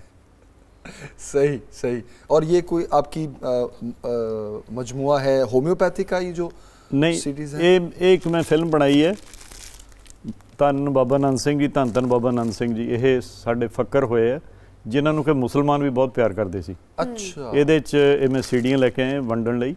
ਅੱਛਾ। ਇਹਦੇ 'ਚ ਮੁਸਲਮਾਨਾਂ ਨਾਲ ਕਿੰਨਾ ਪਿਆਰ ਸੀ? ਕਿਵੇਂ ਸਾਰਿਆਂ ਨੂੰ ਡੀਲ ਕਰਦੇ ਸੀ? ਸਾਰਿਆਂ ਨੂੰ ਕਿਵੇਂ ਇੱਕ ਇੱਕ ਨਜ਼ਰ ਨਾਲ ਦੇਖਦੇ ਸੀ? ਕਿੰਨਾ ਪਿਆਰ ਕਰਦੇ ਸੀ? ਉਹ ਇਹਦੇ 'ਚ 1 ਘੰਟਾ 44 ਮਿੰਟ ਦੀ YouTube ਤੇ ਵੀ ਪਈ ਹੈ ਇਹ। ਵਾਹ ਕੀ ਬਾਤ। ਉਹਦੇ ਤੇ ਤੁਸੀਂ ਪਾ ਕੇ ਦੇਖਦੇ ਸੀ ਦੇਖ ਸਕਦੇ ਹੋ। ਧੰਨ ਧੰਨ ਬਾਬਾ ਅਨੰਦ ਸਿੰਘ ਜੀ ਲਿਖ ਦੇਣਾ ਬਸ। ਠੀਕ ਹੈ। ਬਾਕੀ YouTube ਤੇ ਡਾਕਟਰ ਤਾਰਾ ਸਿੰਘ ਆਲਮ ਪਾਓ ਤੇ ਉਹਦੇ ਤੇ ਮੇਰੇ ਗੀਤ ਵੀ ਕਾਫੀ ਪਏ ਆ ਅੱਛਾ। ਠੀਕ ਹੈ।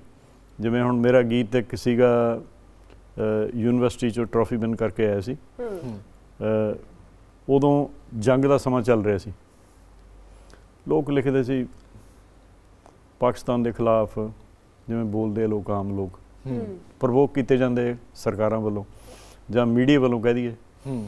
ਮੀਡੀਆ ਦਾ ਬਹੁਤ ਵੱਡਾ ਰੋਲ ਹੈ। ਮੀਡੀਆ ਨੂੰ ਚਾਹੀਦਾ ਕਿ ਬਹੁਤ ਬੈਲੈਂਸ ਰੱਖੇ। ਹਮੇਸ਼ਾ ਮਨੁੱਖਤਾ ਦੀ ਇਨਸਾਨੀਅਤ ਦੀ ਗੱਲ ਕਰੇ। ਬੇਸ਼ੱਕ। ਤੇ ਮੇਰਾ ਗੀਤ ਉਹ ਸੀਗਾ ਹਿੰਦੁਸਤਾਨ ਦਾ ਨਾ ਪਾਕਿਸਤਾਨ ਦਾ। ਆਓ ਗੀਤ ਗਾਈਏ ਸਾਰੇ ਜਹਾਨ ਦਾ। ਸਾਰੇ ਜਹਾਨ ਦਾ। ਕੀ ਬਾਤ। ਨਾ ਕਿਸੇ ਲੈਨਨ ਦਾ ਨਾ ਮਾਓ ਵਿਚਾਰ ਦਾ। ਉਦੋਂ ਨਕਸਲਵਾਦੀ ਮੂਵਮੈਂਟ ਚੱਲਦੀ ਸੀ ਬਹੁਤ ਜ਼ਿਆਦਾ। ਅੱਛਾ। ਤੇ ਅਸੀਂ ਉਦੋਂ ਪਰੇ ਦੀ ਗੱਲ ਸੋਚਦੇ ਸੀ ਕਿਉਂਕਿ ਨਕਸਲਾਈਟ ਮੂਵਮੈਂਟ ਦੇ ਵਿੱਚ ਵੀ ਰਹੇ ਪਰ ਅਸੀਂ ਦੇਖਿਆ ਕਿ ਐਕਚੁਅਲੀ ਤਾਂ ਗੱਲ ਜਿਹੜੀ ਅੱਲਾ ਦੀ ਜਾਂ ਰੱਬ ਦੀ ਗੱਲ ਹੀ ਹੈ ਵੱਡੀ ਸੱਚ ਠੀਕ ਹੈ? ਇਸ ਕਰਕੇ ਇਹਦੇ ਵਿੱਚ ਲਿਖਿਆ ਕਿ ਨਾ ਕਿਸੇ ਲੈਨਨ ਦਾ ਨਮਾਓ ਵਿਚਾਰ ਦਾ نہ کسے اکلے پاکت سردار دا ਹੂੰ। اتے ٹنگی ہوئی ہرک جان دا ਜਾਨ ਦਾ। ਵਾਹ। ਆਓ سارے جہان ਸਾਰੇ آپ کو تو ماشاءاللہ اتنا کام ہے اور جس طرح سے آپ بتا رہے ہیں اس پہ تو ہم جتنی دیر آپ سے بات کرتے رہے ہیں کم ہے। آپ کا ایک پروفیشن بھی ہے جس کو ہومیوپیتھک کہا جاتا ہے۔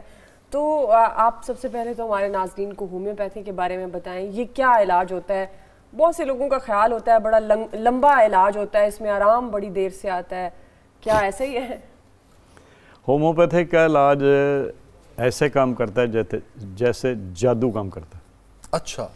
ਉਲਟਾ ਬਿਲਕੁਲ। ਜੋ ਲੋਕ ਕਹਿੰਦੇ ਆ ਨਾ ਕਿ ਇਹ ਬਹੁਤ ਸਲੋ ਪੈਥੀ ਹੈ। ਜੀ। This is very fast pathy. ਅੱਛਾ।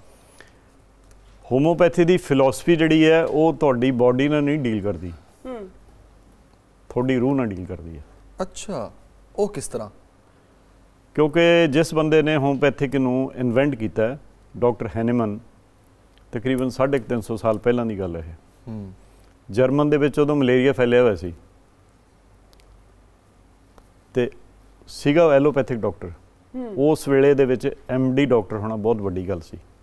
ਅੱਛਾ ਸਹੀ। ਤੇ ਉਹ ਬੰਦਾ ਉਸ ਵੇਲੇ ਐਮ ਡੀ ਸੀ। ਅੱਛਾ ਗ੍ਰੇਟ ਤੇ ਜਿੰਨੀਆਂ ਕਿਤਾਬਾਂ ਬਾਕੀ ਵੀ ਅਮਰੀਕਨ ਡਾਕਟਰਾਂ ਨੇ ਬਾਅਦ ਚ ਲਿਖੀਆਂ ਨਾ ਬੜੀ ਮਿਹਨਤ ਨਾਲ। ਉਹਨਾਂ ਵੇਲੇ 'ਚ ਪ੍ਰੈਸ ਤਾਂ ਹੁੰਦੀ ਨਹੀਂ ਸੀ। ਹੱਥ ਲਿਖਤਾਂ ਸਾਰੀਆਂ। ਜਾਂ ਹੱਥ ਵਾਲਾ ਹੁੰਦਾ ਸੀ ਪ੍ਰੈਸ ਜਿਹੜੀ ਸੀ। ਉਹ ਬੰਦੇ ਨੇ ਸਾਰੀਆਂ ਦਵਾਈਆਂ ਕੰਡੈਮ ਕੀਤੀਆਂ। ਦੇਸੀ ਦਵਾਈਆਂ ਵੀ ਕੰਡੈਮ ਕਰਦੀਆਂ। ਅੱਛਾ। ਕਿੱਥੋਂ ਸ਼ੁਰੂ ਹੋਇਆ? ਮਲੇਰੀਆ ਹੋਇਆ ਸੀ। ਮਲੇਰੀਆ ਉਹ ਮਲੇਰੀਆ ਦੀ ਦਵਾਈ ਦੇ ਰਿਹਾ ਸੀ ਸਾਰਿਆਂ ਨੂੰ। ਕਲੋਰੋਕੀਨ ਖਾਣ ਨੂੰ। ਕਲੋਰੋਕੀਨ ਨਾਲ ਬੁਖਾਰ ਉਤਰ ਜਾਂਦਾ ਸੀ। ਸਕਿਨ ਖਰਾਬ ਹੋ ਜਾਂਦੀ ਸੀ। ਕਿਸੇ ਦੀਆਂ ਅੱਖਾਂ ਖਰਾਬ ਹੋ ਜਾਂਦੀਆਂ ਸੀ। ਅੱਛਾ। ਤਾਂ ਭਲਾ ਬੰਦਾ ਸੀ। ਰੱਬ ਦਾ ਬੰਦਾ ਸੀ ਕੋਈ। ਫਿਰ ਉਹਨਾਂ ਨੇ ਹੋਮਿਓਪੈਥਿਕ ਤੇ ਕੰਮ ਨਹੀਂ ਨਹੀਂ ਉਹਨੇ ਫਿਰ ਹੋਮਪੈਥੀ ਤਾਂ ਗੱਲ ਬਾਦ ਹੀ ਹੈ ਨਾ। ਦੇਖੋ ਉਹਨੇ ਫਿਰ ਕਿਹਾ ਵੀ ਮੈਂ ਤਾਂ ਬੰਦੇ ਬਿਮਾਰ ਕਰੀ ਜਾਂਦਾ। ਅੱਛਾ। ਉਹਦੀ ਰੂਹ ਨੂੰ ਬਹੁਤ ਤਕਲੀਫ ਹੋਈ। ਹੂੰ। ਉਹਦੇ ਅੰਦਰ ਖਿਆਲ ਰੱਬ ਨੇ ਪੈਦਾ ਕੀਤਾ ਵੀ ਤੂੰ ਖਾ ਕੇ ਦੇਖ ਤਾਂ ਦਵਾਈ ਹੈ ਜਿਹੜੀ ਲੋਕਾਂ ਨੂੰ ਦੇ ਰਿਹਾ।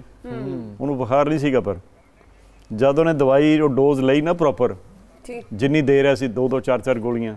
ਠੀਕ ਹੋ ਗਿਆ। ਨਹੀਂ ਉਹਨੂੰ ਬੁਖਾਰ ਚੜ ਗਿਆ। ਠੀਕ ਹੈ ਜੀ? ਉਹ ਜਦੋਂ ਬੁਖਾਰ پہلا ਉਹਨੇ لکھیا ਡਾਇਲੌਗ کٹس ਡਾਇਮੰਡ کہ جڑی چیز ਜਿਹੜੀ بماری ہٹ دی ہے وہ ਉਹਦੇ لگ دی ہے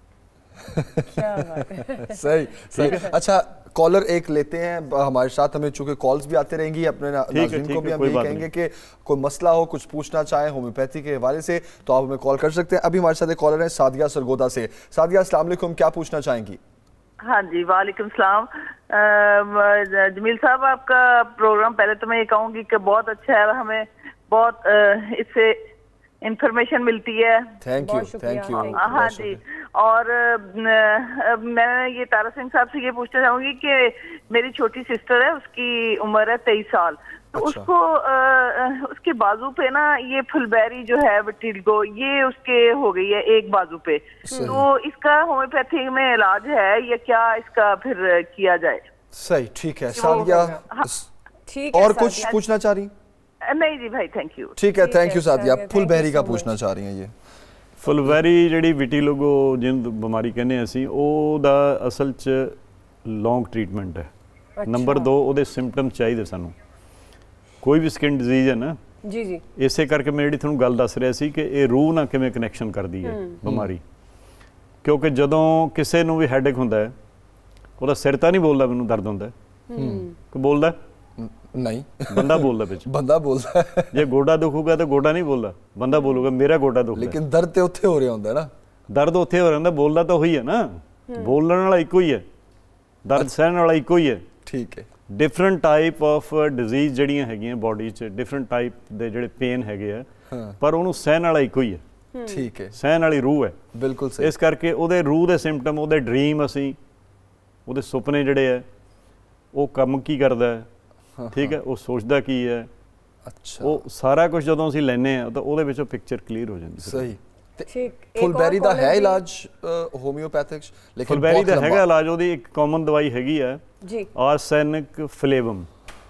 ਅੱਛਾ ਇਹ ਕਹੀਂ ਸੇ ਵੀ ਮਿਲ ਜਾਏਗੀ ਨਹੀਂ ਹੋਮੋਪੈਥਿਕ ਫਾਰਮੇਸੀ ਦੇ ਮਿਲ ਅੱਛਾ ਹੋਮਿਓਪੈਥਿਕ 30 ਦੇ ਵਿੱਚ ਇਹ ਲੈਣੀ ਸ਼ੁਰੂ ਕਰ ਦੇਣ ਠੀਕ ਹੈ ਪਰ ਫਿਰ ਵੀ ਕਿਸੇ ਡਾਕਟਰ ਨੂੰ ਡਾਇਗਨੋਸ ਕਰਾਉਣ ਪ੍ਰੋਪਰ ਵੀ ਕਿਹੜੀ ਸਾਈਡ ਤੇ ਹੈ ਇਹਦੇ ਵਿੱਚ ਇੱਕ ਹੋਰ ਤੁਹਾਨੂੰ ਦੱਸ ਦਿਆਂ ਨਵੀਂ ਗੱਲ ਕਿ ਆਮ ਲੋਕਾਂ ਨੂੰ ਨਹੀਂ ਪਤਾ ਸੱਜੇ ਪਾਸੇ ਦੀਆਂ ਬਾਡੀ ਦੀਆਂ ਜਿਹੜੀਆਂ ਬਿਮਾਰੀਆਂ ਉਹਦੀਆਂ ਦਵਾਈਆਂ ਡਿਫਰੈਂਟ ਹੈ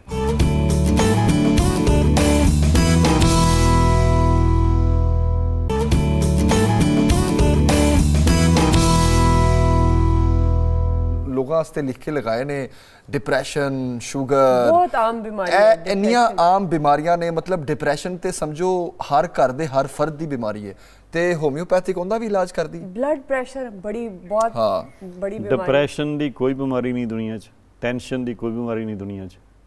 ਸਿਰਫ ਥੋੜੇ ਹਾਲਾਤ ਹੈ। ਇਹ ਆਪ ਪਾਲੀ ਬਿਮਾਰੀ ਹੈ। ਨਹੀਂ ਆਪ ਪਾਲੀ ਨਹੀਂ ਹੈ ਸਾਡੇ ਸਾਡੇ ਦੇਸ਼ਾਂ ਦੀਆਂ ਜਿਹੜੀਆਂ ਸਿਸਟਮ ਹੈ ਜਿਹੜਾ ਜਿਹੜੀਆਂ ਸਾਡੀਆਂ ਸਰਕਾਰਾਂ ਉਹਨਾਂ ਨੇ ਬਣਾਈ ਇਹ।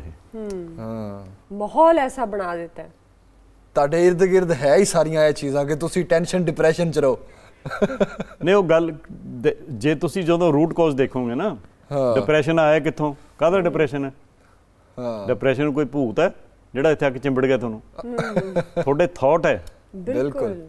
ਇਬਾਦਤ ਕਿੰਨੀ ਦੇਰ ਕਰਦੇ ਹੋ? ਕਿੰਨਾ ਟਾਈਮ ਲਾਉਨੇ ਹੋ? ਕਿੰਨੀ ਦੇਰ ਰਿਲੈਕਸ ਰਹਿੰਦੇ ਹੋ? ਮਾਈਂਡ ਕਿੰਨੀ ਦੇਰ ਰਿਲੈਕਸ ਕਰਦੇ ਹੋ? ਇਹਦੇ ਤੇ ਕੋਈ ਟਾਈਮ ਨਹੀਂ ਹੈ। ਸਹੀ ਠੀਕ ਹੈ। ਬਿਲਕੁਲ ਸਹੀ। ਟੈਲੀਵਿਜ਼ਨ ਦੇਖਣ ਤੇ ਟਾਈਮ ਹੈਗਾ। ਠੀਕ ਹੈ ਜੀ। ਚੁਗਲੀ ਕਰਨ ਤੇ ਨਿੰਦਾ ਕਰਨ ਤੇ ਇੱਕ ਦੂਜੇ ਦੀ ਬੁਰਾਈ ਕਰਨ ਤੇ ਟਾਈਮ ਬਹੁਤ ਕਾਦੇ ਵਾਸਤੇ? ਫੋਨ ਨੇ ਫੋਨ ਤੁਹਾਨੂੰ ਦਿੱਤਾ ਰੱਬ ਨੇ। ਇਹ ਦਿੱਤਾ ਸੁੱਖ ਵਾਸਤੇ। ਠੀਕ ਹੈ। ਮੇਰੇ ਕੋਲੇ ਫੋਨ ਦੇ ਉੱਤੇ ਮਰੀਜ਼ ਹੈ ਬਹੁਤ।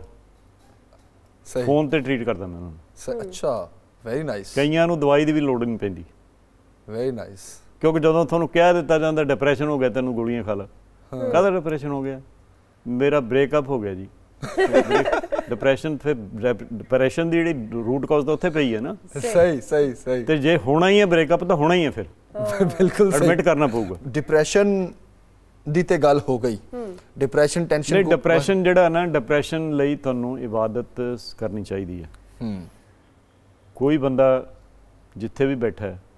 ਜਿਹੋ ਜਿਹੇ ਵੀ ਉਹਨੂੰ ਕੋਈ کلام یا کلمہ پڑھنا ہوتا ہے وہ پڑھے اچھا گا کے پڑھے بالکل صحیح میں یہ پوچھنا چاہیے کہ صحیح میدے کو جو میدہ صحیح کام کرتا رہے جس اور اس کا جو ہضم کرنے کا نظام ہے وہ ٹھیک رہے اس کے لیے کون سی ایسی خوراکیں کھانی چاہیے؟ کیا کھانا چاہیے خوراکیں پہلی گل تو ٹائم پہ کھانا چاہیے۔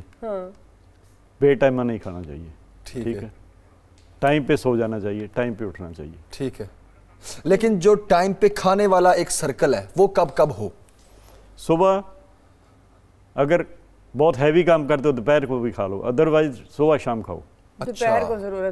ਦੁਪਹਿਰ ਹੀ ਖਾਣ ਦੀ ਕੋਈ ਲੋੜ ਕਿਉਂ ਖਾਣਾ ਨਹੀਂ ਜੇ ਭੁੱਖ ਲੱਗੇ ਫੇਰ ਨਹੀਂ ਭੁੱਖ ਤਾਂ ਹੁਣ ਜੇ ਤੁਸੀਂ ਲ- ਇਹਨੂੰ ਆਦਤ ਪਾਈ ਹੈ ਭੁੱਖ ਲੱਗੂਗੀ ਪਰ ਹੌਲੀ ਹੌਲੀ ਹਟ ਜਾਊਗੀ ਅੱਛਾ ਸਹੀ। ਜਿੰਨਾ weight lose ਕਰਨ ਵਾਲੀ ਕੋਈ ਦਵਾਈ ਖਾਣ ਦੀ ਲੋੜ ਨਹੀਂ ਕਦੇ ਵੀ ਨਹੀਂ ਖਾਣੀ ਚਾਹੀਦੀ ਅੱਛਾ weight lose ਕਰਨ ਵਾਲੀ ਦਵਾਈ ਖਾ ਕੇ ਤੁਸੀਂ ਆਪਣਾ liver ਖਰਾਬ ਕਰ ਦਿਓ ਸਹੀ ਖੁਰਾਕ ਘਟਾ ਦਿਓ। ਖੁਰਾਕ ਆਪਣੀ ਠੀਕ ਰੱਖੋ। ਜੇ ਕੰਮ ਕੋਈ ਕਰਦੇ ਨਹੀਂ ਹਾਂ। ਠੀਕ ਹੈ? ਬੰਦੇ ਵਿਹਲੇ ਬੈਠੇ ਆ ਕੁਰਸੀਆਂ ਤੇ ਤੇ ਖਾਈ ਜਾਣਾ 24 ਘੰਟੇ। ਫਿਰ ਬਿਮਾਰ ਹੀ ਹੋਵਗੇ ਨਾ। ਆਹੋ ਫਿਰ ਢਿੱਡ ਫੜ ਕੇ ਬਹਿਣਾ ਹੋਰ ਕੀ ਕਰਨਾ ਉਹਨਾਂ ਨੇ? ਬਾਬੇ ਨਾਨਕ ਨੇ ਇੱਕ ਲਾਈਨ ਲਿਖੀ ਕਿ ਬਹੁਤ ਸਵਾਦੋਂ ਰੋਗ ਉਪਜੇ। ਜ਼ਿਆਦਾ ਸਵਾਦ ਲਾਉਣਾ ਰੋਗ ਆਉਂਦੇ ਆ। ਅੱਛਾ ਕੀ ਬਾਤ ਹੈ। ਕੀ ਬਾਤ ਹੈ। ਵੈਸੇ ਨਹੀਂ ਰੋਗ ਆਉਂਦੇ। ਨੋ। ਰੋਗ ਤੁਹਾਡੇ ਕਿਚਨ ਚੋਂ ਸ਼ੁਰੂ ਹੁੰਦਾ ਰਸੋਈ ਚੋਂ ਤੁਹਾਡੀ ਚੋਂ। ਠੀਕ ਹੈ? ਉੱਥੇ ਖਤਮ ਹੋ ਜਾਂਦਾ ਹੈ। ਉੱਥੇ ਮਾਰ ਦਿਓ ਉਹਨੂੰ। ਤੇ ਅੱਜ ਕੱਲ ਤੇ ਸਰਦਾਰ ਸਾਹਿਬ ਅਸੀਂ ਖਾਣ ਵਾਸਤੇ ਹੀ ਜੀ ਰਹੇ ਹਾਂ। ਖਾਣ ਹੀ ਸਾਡਾ ਸਾਰਾ ਕੁਝ ਹੈ। ਤੇ ਫਿਰ ਖਾਣਾ ਤੇ। ਦਿਖਾਣਾ। ਕੱਲਾ ਖਾਣਾ ਨਹੀਂ ਦਿਖਾਉਣਾ ਵੀ ਰਹਿ ਗਿਆ। ਦਿਖਾਣਾ? ਹਾਂ ਬਿਲਕੁਲ ਦਿਖਾਵਾ ਹੀ ਕਰਦੇ ਆ ਨਾ। ਦੇਖੋ ਹੁਣ ਕਦੇ ਪਹਿਲਾਂ ਦੇਖਿਆ ਸੀ? ਹਰੇਕ ਗਲੀ ਵਿੱਚ ਹਿੰਦੁਸਤਾਨ ਪਾਕਿਸਤਾਨ ਦੀ ਚ ਕੀ ਸਾਰੀ ਦੁਨੀਆ 'ਚ ਹਰੇਕ ਗਲੀ 'ਚ 5 5 6 6 ਬਿਊਟੀ ਪਾਰਲਰ ਹੈ। کہ خدا نے ایڈی گلتی کی تھی ہے کہ انہا پتہ بناتا تھا۔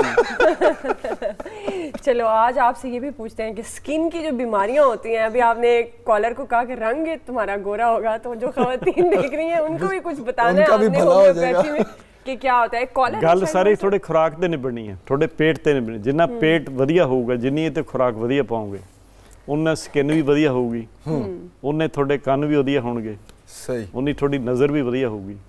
ਅੱਛਾ ਫਿਰ ਤੁਸੀਂ ਮਨ ਵੀ ਵਧੀਆ ਹੋਊਗਾ। ਫਿਰ ਥੋੜੀ ਜੀ ਰੋਸ਼ਨੀ ਪਾਓ ਮੇਦਾ ਤੇ ਪੇਟ। ਤੁਸੀਂ ਖੁਰਾਕ ਦਾ ਤੇ ਦੱਸਤਾ ਕਿ ਬੇਟਾਈਮਾ ਨਹੀਂ ਖਾਣਾ ਟਾਈਮ ਦਾ ਖਾਣਾ ਲੇਕਿਨ ਅਗਰ ਕਿਸੇ ਨੂੰ ਬਿਮਾਰੀ ਹੈ ਤੇ ਹੋਮਿਓਪੈਥਿਕ ਇਲਾਜ ਕੀ ਕਰਿਓ ਆਪਣਾ? ਗੈਸ ਅੱਜ ਨਹੀਂ ਇਸ ਤਰ੍ਹਾਂ ਕਾਮਨ ਦੇਖੋ ਦੇਖੋ ਕਾਮਨ ਦਵਾਈਆਂ ਜਿਹੜੀਆਂ ਹੈਗੀਆਂ ਹੋਮਿਓਪੈਥੀ ਚ ਗੈਸ ਦੀਆਂ ਮੈਂ ਜਿਵੇਂ ਉਹਨਾਂ ਨੂੰ ਦੱਸੀ ਹੈ ਉਹ ਲੈ ਲਓ ਠੀਕ ਹੈ? ਬਹੁਤ ਦਵਾਈਆਂ ਇੱਕ ਇੱਕ ਦਵਾਈ ਨਹੀਂ ਇੱਕ ਇੱਕ ਬਿਮਾਰੀ ਲਈ। ਅੱਛਾ। 20 ਵੀ ਦਵਾਈਆਂ ਘਟੋ ਘਟ ਕਿਉਂਕਿ ਉਹਦੇ ਸਿੰਪਟਮਸ ਹੈ। ਕਈਆਂ ਦੇ ਖੱਬੇ ਪਾਸੇ ਗੈਸ ਭਰਦੀ ਹੈ ਜ਼ਿਆਦਾ। ਕਈਆਂ ਦੇ ਸੱਜੇ ਪਾਸੇ ਭਰਦੀ ਹੈ। ਹੁਣ ਰਾਈਟ ਸਾਈਡ ਦੀ ਮੈਡੀਸਨ ਹੋਰ ਹੈ ਲੈਫਟ ਦੀ ਹੋਰ। ਅੱਛਾ ਠੀਕ ਹੈ। ਠੀਕ ਹੈ। ਤੇ ਕਈਆਂ ਨੂੰ ਮਾਈਗ੍ਰੇਨ ਇੱਧਰ ਹੈ ਕਈਆਂ ਨੂੰ ਮਾਈਗ੍ਰੇਨ ਇੱਧਰ ਹੈ। ਅੱਛਾ। ਦੋਨਾਂ ਦੀ ਦਵਾਈ ਵੱਖਰੀ ਹੈ। ਇਹ ਵੀ ਬੜਾ ਆਮ ਹੋ ਗਿਆ ਅਬ ਤਾਂ ਮਾਈਗ੍ਰੇਨ ਵੀ। ਮਾਈਗ੍ਰੇਨ ਸਾਰਾ ਤੁਹਾਡੇ ਪੇਟ ਨਾਲ ਕਨੈਕਟਡ ਹੈ। ਅੱਛਾ। ਮੈਕਸਿਮਮ ਅੱਛਾ। ਮੈਕਸਿਮਮ ਬਿਮਾਰੀਆਂ ਪੇਟ ਨਾਲ ਕਨੈਕਟਡ ਹੈ। ਸਹੀ। ਦੇਖੋ ਪੇਟ ਲਈ ਬੰਦਾ ਕੰਮ ਕਰਦਾ ਠੀਕ ਹੈ। ਤੇ ਪੇਟ ਤੋਂ ਹੀ ਬਿਮਾਰੀਆਂ ਲਵਾ ਲੈਂਦਾ ਪੇਟ ਤੋਂ ਹੀ ਬਿਮਾਰੀਆਂ ਲਵਾਉਂਦਾ ਤੇ ਪੇਟ ਚੋਂ ਹੀ ਪੈਦਾ ਹੁੰਦਾ ਜੰਮਦਾ ਵੀ ਪੇਟ ਚੋਂ ਹੀ ਹੈ। ਬਿਲਕੁਲ। ਤੇ ਜਦੋਂ ਮਾਂ ਸਾਨੂੰ ਪੈਦਾ ਕਰਦੀ ਹੈ ਜਿਹੜੀ ਮਾਂ ਜੇ ਉਹਦਾ ਖੁਰਾਕ ਉਹਦਾ ਰਹਿਣ ਸਹਿਣ ਉਹਦੀ ਕਿਤੇ ਇਬਾਦਤ ਹੋਵੇ ਉਦੋਂ ਤੇ ਬੱਚਾ ਤੰਦਰੁਸਤ ਪੈਦਾ ਹੁੰਦਾ ਬਿਲਕੁਲ ਸਹੀ। ਤੇ ਜੇ ਉਹ ਰੋਂਦੀ ਕਲਾਂਦੀ ਹੈ ਠੀਕ ਹੈ ਉਹਦੇ ਸਹੁਰੇ ਪੇਕੇ ਜਾਂ ਹੋਰ ਉਹ ਗਾਲਾਂ ਗੂਲਾਂ ਕੱਟਦੇ ਉਹਦਾ ਘਰ ਵਾਲਾ ਜਿਹੜਾ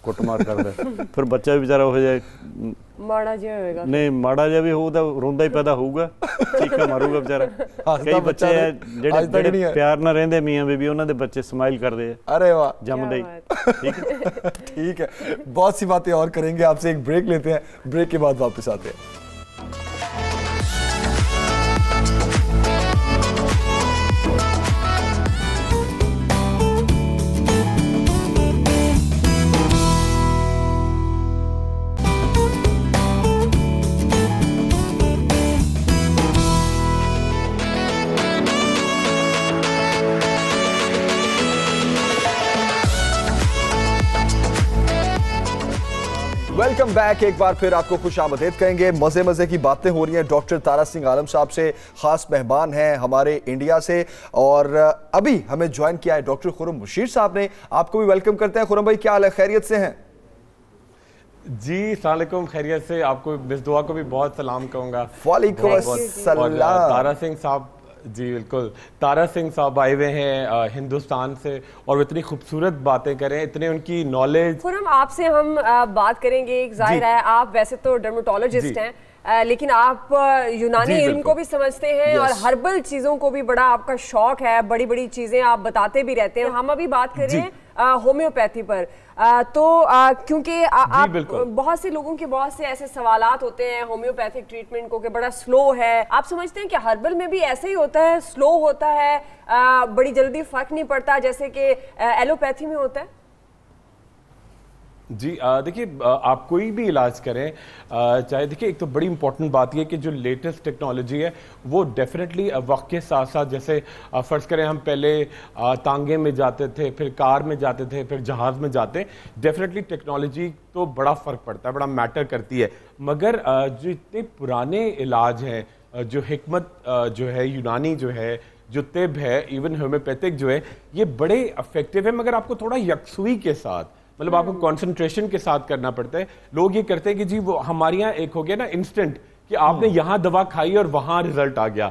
لوگ یہاں کہتے ہیں جی یہاں میں نے تیل لگایا وہاں میرے بال آ گئے۔ مطلب یہاں میں نے کریم لگائی یہاں میرے ایکنی ختم ہو گئی۔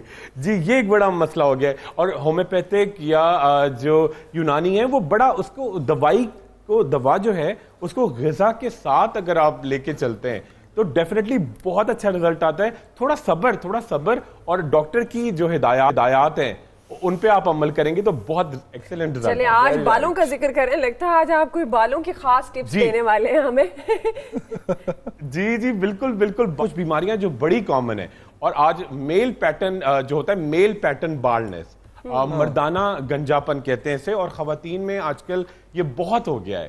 اس کی وجوہات میں آپ کو تین چار پکچرز دکھا کے دیکھیے ایک تو سردیاں جیسے شروع ہوتی ہیں یا بہار آتی ہے خاص طور پہ تو یہ دیکھیے یہ ایک ایشو ہوتا ہے جس کو ہم خشکی سکری کہتے ہیں سیبرک ڈرمٹائٹس ایک پوری لیئر سی آ جاتی ہے ایک تہ آتی ہے جس سے آپ کے بال تیزی کے ساتھ اندر ہی اندر سے غائب ہونا شروع ہو جاتے ہیں۔ یہ دیکھیے بہت زیادہ اس میں آپ کے ڈیڈ بال بہت زیادہ ہوتے ہیں اور بال گرتے ہیں۔ یہ دیکھیے اس کو کوشش کریں گے کہ ہم فوکس کریں جو بالوں کے اندر جو ہے ماتھا بڑا ہونا شروع ہو جاتا ہے نا خورم بھائی؟ پورا ماتھا بڑا جی جی بالکل جی بالکل۔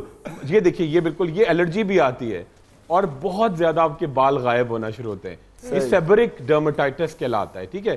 اچھا جی ایک اور میں آپ کو چیز دکھاؤں جو بڑی کامن ہوتی ہے لوگوں کو آئیڈیا نہیں ہوتا۔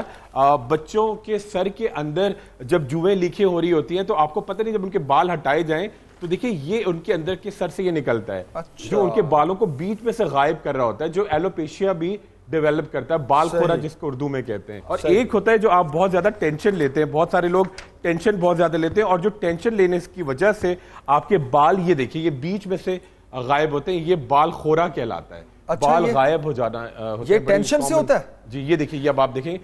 جی؟ ٹینشن سے ہوتا ہے ٹینشن جی بالکل وہ پہلے والا ڈینڈر سے بھی ہوتا ہے بڑا کا۔ جی اور اچھا۔ یہ آپ دیکھیں گے کہ یہ والا جو ہے یہ بال خورا ہے یہ بالکل آپ کے بیچ میں سے داڑھی میں سے۔ ٹینشن کا کوئی علاج نہیں ہے۔ ٹینشن کے لیے ٹینشن کا جی ٹینشن ہے ہی نہیں پر ٹینشن ہاں، بیماری نہیں ہے ٹینشن بیماری نہیں ہے۔ علاج آپ کیا کر سکتے ہیں پھر بالکل تاکہ یہ جو گنجا پن ہے میں بتاؤں گا آپ کو۔ اچھا اچھا خورم بھائی جلدی سے یہ بتائیں یہ جو سینٹر سے مردوں کے جی۔ بال غائب ہو جاتے ہیں اور کہتے ہیں یہ امیر ہونے والا ہے۔ لیکن وہ لیکن وہ امیر ہونے والا ہوتا ہے یا وہ بھی کوئی بیماری ہوتی ہے؟ ذرا وہ جلدی سے بتا دے جی بڑی بڑی کامن بیماری ہوتی ہے۔ وہ کراؤن مطلب کہتے ہیں کراؤن جہاں پہ آپ تاج پہنتے ہیں۔ تو وہاں سے آپ کے بال غائب ہوتے ہیں۔ دیکھیے یہ دو دو فارمز ہوتی ہیں۔ ایک یہ میں آپ کو دکھاؤں ایک تو یہ شروع ایسے ہوتا ہے جی۔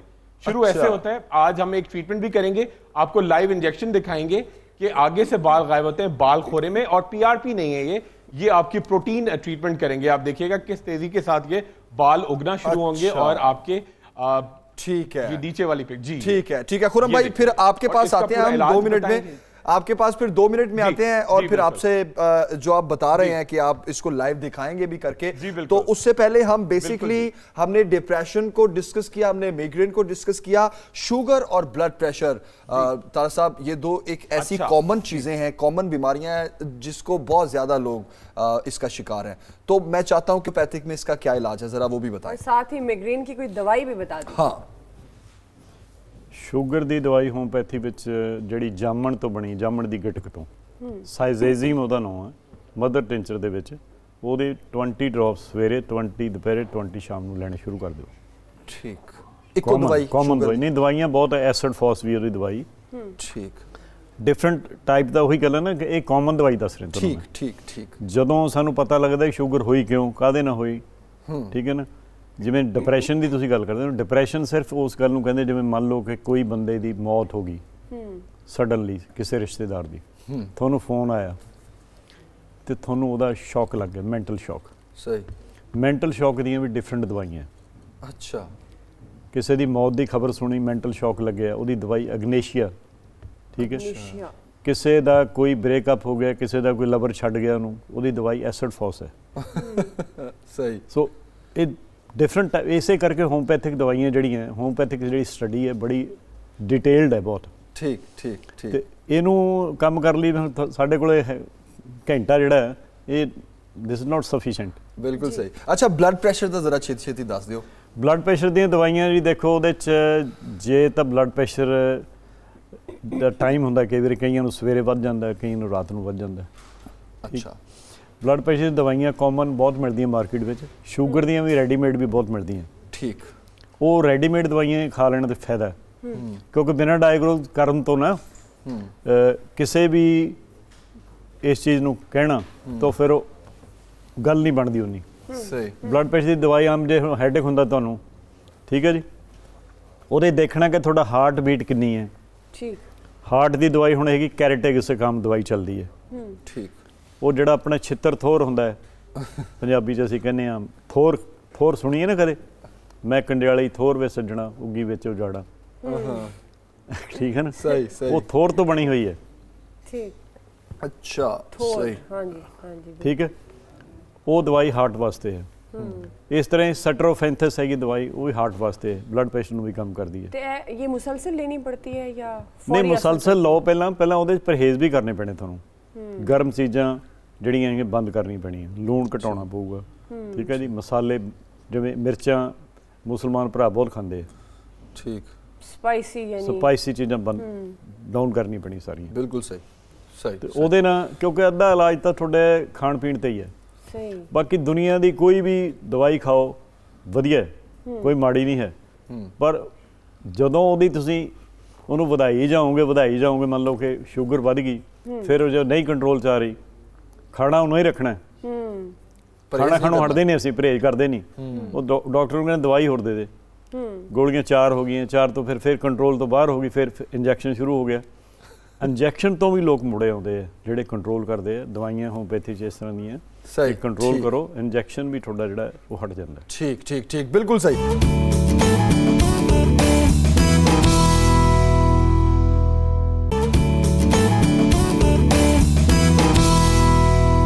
خورم بھائی آپ کی طرف آتے ہیں آپ بہت انٹرسٹنگ آپ بات کر رہے تھے بالوں سے متعلق ٹریٹمنٹ سے متعلق اور آپ لائف جی۔ ہمیں دکھائیں گے وہ کس طرح ٹریٹمنٹ کیا جاتا ہے؟ جی بالکل بالکل۔ میں ایک تیل بھی آپ کے لیے بناؤں گا اور میں لائیو انجیکشن بھی لگاؤں گا بھائی ہمارے جی۔ پاس بیٹھے ہوئے ان کے لگاؤں گا۔ اچھا پہلے میں آپ کو ایک چھوٹا سا جی۔ جو آپ کا اینٹی ایک ڈپریسنٹ جو بڑا لیٹسٹ سالٹ کے ساتھ ہے اور جو اینٹی ڈپریسن بھی ہے ڈپریشن ختم کرتا ہے ڈیفینیٹلی آپ کا ایک تو جیسے تارا صاحب بتا رہے ہیں وہ تو ہے ہی۔ اور بڑی امپورٹنٹ کہ جس سے آپ کا ڈپریشن ختم ہوگا جس سے آپ کا خون کا دوران بڑھے گا اور نیند بڑی بھرپور آئے گی۔ یہ ایک بڑا زبردست سا ڈرنک ہے جس کو ریڈ ڈرنک کہتے ہیں۔ اچھا یہ بنتا ہے عام طور پہ ٹماٹر کا جوس۔ ٹماٹر کا جوس آپ لیں گے اس کے اندر آپ ڈالیں گے جی تھوڑا سا چکندر۔ اور اس کے ساتھ ایک چمچہ بھر کر خشخاش۔ خشخاش چکندر ٹماٹر کا جوس اس کے اندر ہے۔ آپ موسم کے پھل ڈال سکتے ہیں اور سلاد پتا۔ اور اینڈ میں آپ ڈالیں گے ایک چمچہ بھر کے خشخاش اور تھوڑی سی ٹبیسکو۔ یہ اگر آپ نہار منہ آپ روزانہ لیں گے ایک تو آپ کو ڈپریشن نہیں ہوگا اور آپ کا پورا دن آپ کا بڑا انرجیٹک نکلے گا۔ اب ایک آئل بنائیں گے جی جس کے ساتھ ساتھ بھائی کے سر میں یہ دیکھیے یہ یہ لڑکوں کے بڑا کامن ایک ایشو ہوتا ہے کہ جو آپ کے بال یہاں سے جانا شروع ہوتے ہیں ٹھیک ہے؟ جی۔ یہ بڑا کامن یہ دیکھیے آپ بال یہاں سے غائب ہونا شروع ہو جاتے ہیں یہ ہو رہے ہیں اور یہ اب خواتین کا بھی جی جی جی بالکل۔ بالکل بالکل بالکل خواتین کا زیادہ ہے میل پیٹرن بالنس ہے اور خواتین کے زیادہ ہوتا ہے ٹھیک ہے؟ یہ دیکھیں آپ بال بالکل یہ بیچ میں سے غائب ہو رہے ہیں اور یہ دیکھیں یہ یہاں پہ میں پورا ہٹ کروں گا اور یہاں پہ جا کے یہاں سے بال جو آپ زمین بھائی بتاتے نا یہاں بیچ میں سے ہلکے ہو رہے تو یہ کراؤن پہ بھی بال آنا شروع ہوں گے۔ سب سے پہلے آپ ایک تیل بنائیں گے۔ جو بہت تیزی کے ساتھ آپ گھر میں بنا سکتے ہیں بڑے تیزی کے ساتھ آپ کے بال گرو کر یہ ڈھکنا تھوڑا سا بول دیں گے۔ ہاں یہ دیکھیے۔ اچھا اس میں بڑا سمپل سا۔ آپ نے کیا کیا؟ سب سے پہلے لیں گے۔ میں کھولتا ہوں۔ یہ لاک جی۔ تھوڑا ہمارا یہ آ گیا۔ جی۔ سب سے پہلے ڈالیں گے جی اس کے اندر چمبیلی کا تیل۔ ایک پاؤ کے قریب چمبیلی کا تیل۔ چمبیلی ٹھیک ہے؟ اور یہ اچھا یہ ہیڈک میں بھی بڑا سکون دیتا ہے۔ سر کا درد ہو رہا ہے لوگوں کا سر پھٹ رہا ہے تو اس پہ اچھا جی چمبیلی کا تیل ڈالا آپ نے۔ جتنا چمبیلی کا تیل ڈالا اس کا تھری فورتھ تین چوتھائی آپ ڈالیں گے جی میٹھے بادام کا تیل۔ چمبیلی کا تیل میٹھے بادام کا تیل۔ اور اس کے ساتھ ایڈ کریں گے جی ہمارا اصل جو یہ چیز ہے یہ ہے گرین آئل ہے۔ یہ آپ اس کا تھوڑا گاڑے قسم کا آملے کا۔ آملے کا تیل یہ اچھا آملے کا تیل۔ آملے کا تیل۔ ٹھیک ہے جی؟ اس کے اندر ڈالیں گے گلے خیرو۔ گلے خیرو یہ بڑے کامن ہے اور یہ آپ کو آرام سے جو چائنا روز گھروں میں اگے ہوتے ہیں ان کو بالکل آپ سکھا دیں۔ گلے خیرو ٹھیک ہے؟ یہ بڑا تیزی کے ساتھ آپ کے بال کا ایرٹنٹ ہے بال تیزی سے اگائے گا۔ اس کے ساتھ ایڈ کریں گے جی یہ نیبو جو جی دو مٹھی بھر کے۔ دو مٹھی بھر کے ٹھیک۔ جی ہاں۔ اچھا جی ہاں بالکل۔ یہ ڈالیں گے جی ہم لیمو جو استعمال کرتے ہیں اس کے بیج۔ نیبو کے بیج۔ یہ ایریٹنٹ ہیں آپ کے بال اگاتے ہیں۔ ٹھیک ہے جی۔ اس کے ساتھ ایڈ کریں گے جی ملتان یہ کلونجی۔ کلونجی۔ تھوڑی سی۔ اور اس کے ساتھ ایڈ کریں گے یہ جی ہاں۔ یہ آگئے جی یہ اس کے اندر سورج مکھی کے بیج۔ سن فلاور سیڈ سورج مکھی کے بیج۔ اور اینڈ میں ایڈ کریں گے اس کے اندر جو پری میچور گرین کو روکے گا آپ کے بالوں کو تیزی کے ساتھ اگائے گا۔ یہ آئے گا ایک چھوٹی شیشی سرما جو آنکھوں میں آپ لگاتے ہیں۔ یہ بڑی زبردست یہ دیکھیں یہ آپ نے سرما ٹھیک ہے؟ اچھا۔ اور یہ گرین بلیک تیل تیار ہوگا۔ اور میں آپ کے سامنے بھی تیار کرتا ہوں۔ اور یہ بالوں کو تیزی کے ساتھ گرو کرے گا ان کی افزائش کرے گا اور بہت عمدہ بال بنیں گے ٹھیک اچھا۔ ارے واہ یہ تیار ہو یہ تیل یہ اس کو ہلکا سا بالکل جی تیار ہو گیا۔ اس کو ہلکا سا ہیٹ اپ کریں گے اور اس تیل سے آپ بالوں میں مالش کریں۔ آپ دیکھیں بال کس تیزی کے ساتھ گرو کریں گے۔ بہت گاڑا گاڑا سا ہوگا اور گرینش ٹینج ہوگا۔ اور اس کو یوز کس طرح کرنا ہے؟ بھائی کو یہ لگا کے جی ہاں بالکل۔ آپ نے کیا کیا؟ آپ نے اچھی طرح سے جہاں آپ کو لگانا ہے آپ نے وہاں پہ اس کو ہلکا سا یہ آئل لیا۔ آپ نے ہلکا گرم کر کے اس کو جہاں پہ آپ کو لگانا ہے وہاں پہ آپ نے اچھی طرح سے یہاں پہ ابزارب ہاں، گرم کر کے۔ ہلکا سا ہلکا سا گرم کر کے۔ ٹھیک ہے۔ یہ دیکھیے اور یہ جیسے جیسے ٹھنڈا ہوگا آپ دیکھیے اس کا کلر گرین بلیک ہوگا گرین بلیک۔ ٹھیک ہے اور یہ صرف اسی جگہ لگانا ہے جہاں سے بال گر رہے ہیں۔ یا جسم پہ کہیں بھی لگائیں تو بال آ جائیں گے۔ یہ تو یہ تو بالکل یا تو آپ لیکن پورے سر پہ لگائیں اچھی طرح سے۔ اور اوپر سے آپ تھیلی لگا لیں یا شاور کیپ پہن لیں تو بال اور تیز آئیں گے۔ مگر یہ تو بھائی کا میں ٹریٹمنٹ کر رہا ہوں تو میں دکھا رہا ہوں یہ دیکھیں یہ ان کا یہ ہم نے یہاں پہ جہاں پہ بھی ہم میں انجیکشن بھی لگاؤں گا۔ اور یہ دیکھیں یہ تھوڑا سا گاڑا گاڑا ہوگا یہ آپ لگائیں گے نا تو یہ بالوں میں اچھی طرح سے ایبزارب ہوگا۔ اور یہ آپ کر کے یہاں اچھی طرح سے۔ اور اب میں ان کے دیکھیے اب میں جو ان کے بالوں میں لگاؤں گا یہ ہے پروٹین کا انجیکشن ہے پروٹین کانٹینٹ ہے جو جس کو اردو میں کہتے ہیں لہمیات۔ جو پروٹین ہم کھاتے ہیں جو ہمارے بال بنے ہوئے ہیں جو ہماری سکن بنی ہوئی ہے جو ہماری آنکھوں کا یہ جو لیئرز ہیں یہ تمام پروٹین اچھا، کی ہے جو لہمیات کی ہیں۔ جی بالکل میں دیکھیے بالوں میں لگا اور سے بال اچھا ہم میں آپ کو پھر میں یاد دہانی کراؤں آپ مس دو آپ ڈھونڈ بھی رہی ہیں کوئی ونر جن کو ہم وائٹنگ انجیکشن لگائیں گے۔ بھائی کو میں ٹوینٹی لگاؤں گا۔ نائنٹی ٹو کی طرف سے فری اور ان کو ساتھ بھی یہ تیل میں خود لے کر آیا ہوں۔ یہ تیل میں نے دیکھے جیسے جیسے آپ ٹھنڈا ہوگا یہ تیل بالکل اس طرح سے تیار ہوگا۔ یہ تیل بھائی کو دیں گے یہ بھائی لگاتے رہے۔ جی یہ شیمپو بھی دیں گے بھائی کو۔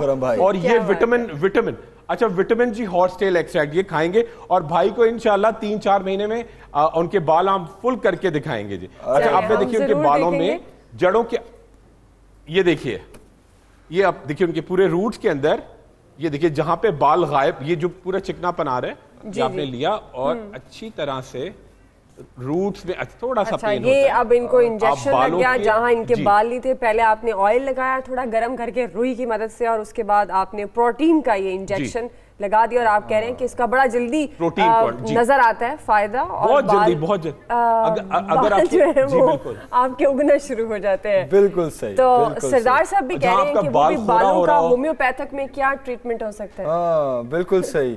اچھا تو یہ جی۔ کتنا ایفیکٹیو ہے خورم بھائی؟ کتنی دیر بعد بال آنا شروع ہو جائیں گے؟ ابھی فوراں سے؟ جی بالکل۔ آپ دیکھیے گا بھائی کو انشاءاللہ ہم ایک مہینے میں دوبارہ بلائیں گے۔ اور میں بیچ میں ان کو ملتا رہوں گا چار پانچ انجیکشن ان کے اور لگاؤں گا۔ آپ دیکھیں گا ان کے بال تیزی کے ساتھ آنا شروع کریں گے۔ ایک پانچ چیزیں بڑی امپورٹنٹ ہے اگر آپ چاہتے ہیں کہ آپ کے بال اچھے ہوں ایک تو پالک کا استعمال زیادہ کرنا ہے۔ مچھلی آپ کھایا کریں دودھ پیا کریں۔ دودھ بڑا امپورٹنٹ ہے۔ لوبیا چھولے کر رہے ہیں واہ خورم بھائی چھا گئے آپ۔ آپ نے لاسٹ ٹائم بھی اسی طرح لائیو انجیکشن لگا کے دکھایا تھا اور ابھی پھر نائنٹی ٹو کے جی، ناظرین کے لیے آپ نے ڈائریکٹ انجیکشن جو ہے وہ انہوں نے انجیکٹ کر کے دکھایا۔ تو تارا صاحب ہومیوپیتھک میں جی۔ اس کا کیا علاج ہے؟ اگر آپ کو بالچر ہو رہا ہے یہ بال گرہ پہلی بات تو یہ ہے اگر آپ نے اپنے بال بچانے ہیں نا ٹھیک ہے تو اس دھیان سے سنیے۔ جی۔ شیمپو بند کرنا پڑوں گا۔ اچھا۔ شیمپو بند کر دو لونا بالکل۔ تو کیا کس سے بال دھوئیں؟ بال اگر اچھی طرح بنانے ہیں لمبے کرنے ہیں مضبوط کرنے ہیں بال ملتانی مٹی نہ بال تو۔ ارے واہ۔ اس سے اگر بالوں میں آئل لگا ہوا ہے وہ بھی نکل جائے گا۔ نکل جائے گا۔ اس میں لیمن ڈال دو تھوڑا۔ اچھا۔ ملتانی مٹی ملتانی مٹی دا بنا کے نا لیپ بنا کے پتلا جائے اچھا۔ وہ دے پاؤ دو تین نمبو ٹھیک ہے؟ وہ دے نا بال تو لو۔ ਪਹਿਲਾਂ ਲਾਈ ਰੱਖੋ 15-20 ਮਿੰਟ ਲਾ ਲਓ ਅੱਧਾ ਘੰਟਾ ਲਾ ਲਓ ਬੇਸ਼ੱਕ। ਠੀਕ। ਫੇਸ ਤੇ ਵੀ ਲਾਓ ਬਲਕਿ ਇੱਕ ਨਹੀਂ ਹਟ ਜੂਗੀ ਜਿਹੜੀ ਅੱਛਾ। ਠੀਕ ਹੈ? ਈਵਨ ਤੁਹਾਡਾ ਜਿਹੜਾ ਡਿਪਰੈਸ਼ਨ ਜਿਹੜਾ ਤੁਸੀਂ ਕਹਿੰਦੇ ਸਾਨੂੰ ਜਿਨ੍ਹਾਂ ਦਾ ਬਲੱਡ ਪ੍ਰੈਸ਼ਰ ਹੈ ਉਹ ਵੀ ਘਟ ਜਾਣਾ ਇਹਦੇ ਨਾਲ। ਅੱਛਾ। ਕੱਲੀ ਮਲਤਾਨੀ ਮਿੱਟੀ ਨਾਲ। ਸਹੀ। ਮੇਰੇ ਕੋਲ ਫੋਟੋ ਹੈ ਨਹੀਂਗੀ ਨਹੀਂ ਤਾਂ ਮੈਂ ਤੁਹਾਨੂੰ ਦਿਖਾ ਦੇਣੀ ਸੀ। 6 ਫੁੱਟ ਲੰਬੇ ਵਾਲ ਬੰਦੇ ਨੇ ਰੱਖੇ। ਅਸੀਂ ਦੇਖੇ ਸੀ ਜਾ ਕੇ ਹਰਦੁਆਰ ਦੇ ਵਿੱਚ। ਅੱਛਾ। ਸੇਂਟ ਸੇਂਟ ਸੀਗਾ ਉਹ। 6 ਫੁੱਟ ਲੰਬੇ ਵਾਲ ਉਹਦੇ ਐਂ ਲਵੇਟੇ ਹੋਏ ਸੀ ਗਰਮੀ ਦੇ ਦਿਨ ਸੀ। ਅਸੀਂ ਕਿਹਾ ਵੀ ਦੂਰੋਂ ਵੂਲ ਦੀ ਪੱਗ ਬੰਨੀ ਹੈ ਕਿਤੇ ਸਿਰ ਤੇ। ਉਹ ਵੀ ਵੂਲ ਦੀ ਗਰਮੀ 'ਚ। ਉਹ ਨੇੜੇ ਗਏ ਤਾਂ ਸਤਿ ਸ੍ਰੀ ਅਕਾਲ ਸਤਿ ਸ੍ਰੀ ਅਕਾਲ ਹੋ ਗਈ ਬੋਲੇ ਸੀ ਇੱਕ ਦੂਜੇ ਨੇ ਅਸੀਂ ਕਿਹਾ ਵੀ ਇਹ ਵਾਲ ਹੈ ਤੁਹਾਡੇ ਹਨਾ? ਕਹਿੰਦੇ ਹਾਂ ਜੀ। ਅਸੀਂ ਕਿ ਦੇਖ ਸਕਦੇ ਹਾਂ ਫਿਰ ਉਹਨੂੰ ਦਿਖਾਏ ਖੜ ਗਿਆ ਉਹ। 6 ਫੁੱਟ ਕਰਦੀ ਸੀ ਉਹਦਾ ਥੱਲੇ ਵਾਲ ਲੱਗਦੇ ਸੀ। ਵਾਹ। ਅਸੀਂ ਹੈਰਾਨ ਹੋ ਗਏ ਜੀ ਵੀ ਕਿਵੇਂ ਵਧਾਏ ਵਾਲ ਹੂੰ। ਕਹਿੰਦਾ ਜੀ ਮੈਂ ਜ਼ਿੰਦਗੀ 'ਚ ਕਦੇ ਸਾਬਣ ਨਹੀਂ ਲਾਇਆ ਕਦੇ ਤੇਲ ਨਹੀਂ ਲਾਇਆ। ਮੁਲਤਾਨੀ ਮਿੱਟੀ ਸਿਰਫ ਮੁਲਤਾਨੀ ਮਿੱਟੀ ਇਸਤੇਮਾਲ ਮੁਲਤਾਨੀ ਮਿੱਟੀ ਨਾਲ ਲੈਮਨ ਪਾਉਣਾ ਵਿੱਚ ਸਿਰਫ ਅਰੇ ਵਾਹ ਕੀ ਬਾਤ ਔਰ ਅਗਰ ਕਿਸੇ ਨੂੰ ਬਾਰਸ਼ਰ ਹੋ ਰਿਹਾ ਉਹਦੇ ਗੁੱਤਾਂ ਕੀਤੀਆਂ ਸੀ ਕਿਉਂਕਿ ਜੇ ਗੁੱਤ ਨਹੀਂ ਕਰਦਾ ਸੀ ਨਾ ਨਿੱਕੀ ਨਿੱਕੀ ਗੁੱਤਾਂ ਤਾਂ ਥੱਲੇ ਲੱਗਦੇ ਸੀ ਵਾਲ ਫਿਰ ਉਹ ਥੱਲੇ ਲੱਗਣ ਨੂੰ ਬਚਾਉਣ ਤੋਂ ਉਹਨੇ ਉੱਚੇ ਕੀਤੇ ਸੀ ਉਹ ਗੁੱਤ ਕਰਕੇ ਇਹ ਤਾਂ ਹੋ ਗਈ ਹਿਫਾਜ਼ਤ ਤਾਂ ਅਗਰ ਕਿਸੇ ਕੇ ਵਾਲ ਗਿਰ ਰਹੇ ਹੋ ਨਹੀਂ ਮੈਂ ਉਹੀ ਦੱਸ ਰਿਹਾ ਨਾ ਸਾਰਾ ਕੁਝ ਤੁਹਾਡਾ ਉਹਦਾ ਜਿਹੜਾ ਸਭ ਤੋਂ ਵੱਡੀ ਗੱਲ ਕਿ ਤੁਸੀਂ ਪਹਿਲਾਂ ਸ਼ੈਂਪੂ ਸੋਪ ਬੰਦ ਕਰੋ ਠੀਕ ਹੋ ਗਿਆ। ਵਾਲ ਡਿਗਣੇ ਵੀ ਬੰਦ ਹੋ ਜਾਣਗੇ। ਸ਼ੈਂਪੂ ਹਾਂ ਬਿਲਕੁਲ ਬਿਲਕੁਲ। ਸ਼ੈਂਪੂ ਜਿਹੜਾ ਵਾਲ ਤੋੜਦਾ ਐਕਚੁਅਲੀ ਬਿਲਕੁਲ ਸਹੀ ਅੱਛਾ। ਤੇ ਜਿੰਨੂੰ ਗੰਜਾਪਣ ਹੋ ਗਿਆ ਹੋਏ ਗੰਜਾਪਣ ਹੋ ਗਿਆ ਤਾਂ ਉਹਦੇ 'ਚ ਹੁਣ ਜਿਵੇਂ ਹੋਮਪੈਥਿਕ ਦਵਾਈਆਂ ਹੈਗੀਆਂ ਬਹੁਤ। ਫਾਸਫੋਰਸ ਦਵਾਈ ਹੈ ਵਾਲਾਂ ਦੀ ਬਹੁਤ ਵਧੀਆ। ਡਿਪਰੈਸ਼ਨ ਨੂੰ ਜਿਵੇਂ ਤੁਸੀਂ ਕਹਿੰਦੇ ਹੋ ਡਿਪਰੈਸ਼ਨ ਹੈ ਮੈਨੂੰ ਮੈਨੂੰ ਡਰ ਲੱਗਦਾ ਸੁਪਨੇ ਮਾੜੇ ਆਉਂਦੇ ਆ। ਇਹੋ ਜਿਹੇ ਕੰਮ ਲਈ ਵੀ ਠੀਕ ਆ ਉਹ। ਸਹੀ। ਤੇ ਜਿਹੜੇ ਗੋਲ ਗੋਲ ਚਟਾਕ ਪੈ ਜਾਂਦੇ ਉਹਦੇ ਲਈ ਵੀ ਫਾਸਫੋਰਸ ਦਵਾਈ ਹੈ ਬਹੁਤ ਵਧੀਆ ਹੈ ਅੱਛਾ। ਅਰਨੀਕਾ ਦਾ ਤੇਲ ਜਿਹੜਾ ਹੈਗਾ ਹੋਮਪੈਥੀ ਦਾ। ਅਰਨੀਕਾ। ਅਰਨੀਕਾ ਦਾ ਤੇਲ ਬਹੁਤ ਵਧੀਆ ਕੰਮ ਕਰਦਾ ਹੈ। ਵਾਲ ਕਾਲੇ ਵੀ ਕਰ ਦਿੰਦਾ ਹੈ। ਅੱਛਾ ਠੀਕ ਠੀਕ ਬਹੁਤ ਬਹੁਤ ਬੈਸਟ ਹੈ। ਔਰ ਹੈਡੇਕ ਹੁੰਦੀ ਤੁਹਾਨੂੰ। ਅਰਨੀਕਾ ਦਾ ਤੇਲ ਲਾਓ। ਅਰਨੀਕਾ 30 ਪੋਟੈਂਸੀ ਵਿੱਚ ਖਾਣੀ ਸ਼ੁਰੂ ਕਰੋ ਨਾਲ ਤੇ ਨਾਲ ਹਾਈਪੈਰਿਕਮ ਇੱਕ ਦਵਾਈ ਹੈ। ਸਹੀ। ਜਿਹੜਾ ਤੁਹਾਨੂੰ ਨੀਂਦ ਨਹੀਂ ਆਉਂਦੀ ਰਾਤ ਨੂੰ ਜ਼ਿਆਦਾ ਖਿਆਲ ਆਉਂਦੇ ਮਨ 'ਚ। ਹੂੰ। ਕਿਸੇ ਦੀਆਂ ਆਰਟਰੀ ਬਲੌਕਸ ਹੈ। ਕਿਸੇ ਦੇ ਜਿਵੇਂ ਕਹਿੰਦੇ ਅਸੀਂ ਕਲੌਟ ਬਣ ਰਹੇ ਆ। ਸਹੀ। ਉਹ ਵੀ ਬੰਦ ਹੋ ਜਾਣੇ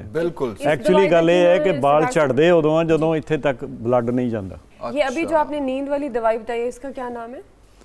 ਦੁਬਾਰਾ ਅਰਨੀਕਾ ਤੇ ਹਾਈਪਰੀਕਮ ਦੋਨੋਂ ਮਿਕਸ ਕਰਕੇ ਖਾਓ। ਅੱਛਾ ਠੀਕ ਹੈ। ਦੋਨੋਂ ਵਧੀਆ ਕੰਮ ਕਰਦੀ ਹੈ। ਅੱਛਾ। ਤੇ ਜੇ ਆਮ ਕਰਕੇ ਜਿਹੜੀ ਬੜੀ ਕਾਮਨ ਦਵਾਈ ਹੈ ਉਹ ਐਕੋਨਾਈਟ ਹੈ। ਐਕੋਨਾਈਟ। ਉਹ ਵੀ ਵਿੱਚ ਮਿਕਸ ਕਰ ਸਕਦੇ ਹੋ ਉਹਦੇ। ਠੀਕ ਠੀਕ ਠੀਕ। ਇਹਦੇ ਮਿਕਸਚਰ ਮਿਲ ਜਾਂਦੀ ਆਮ ਕਰਕੇ। ਠੀਕ ਠੀਕ। ਹੋਮੋਪੈਥੀ ਵਾਲੇ ਡਾਕਟਰਸ ਨਾਲ ਜਾਂ ਹੋਮੋਪੈਥੀ ਫਾਰਮੇਸੀ ਵਾਲੇ ਨੇ ਰਾਬਤਾ ਪੈਦਾ ਕਰੋ ਆਪਦਾ।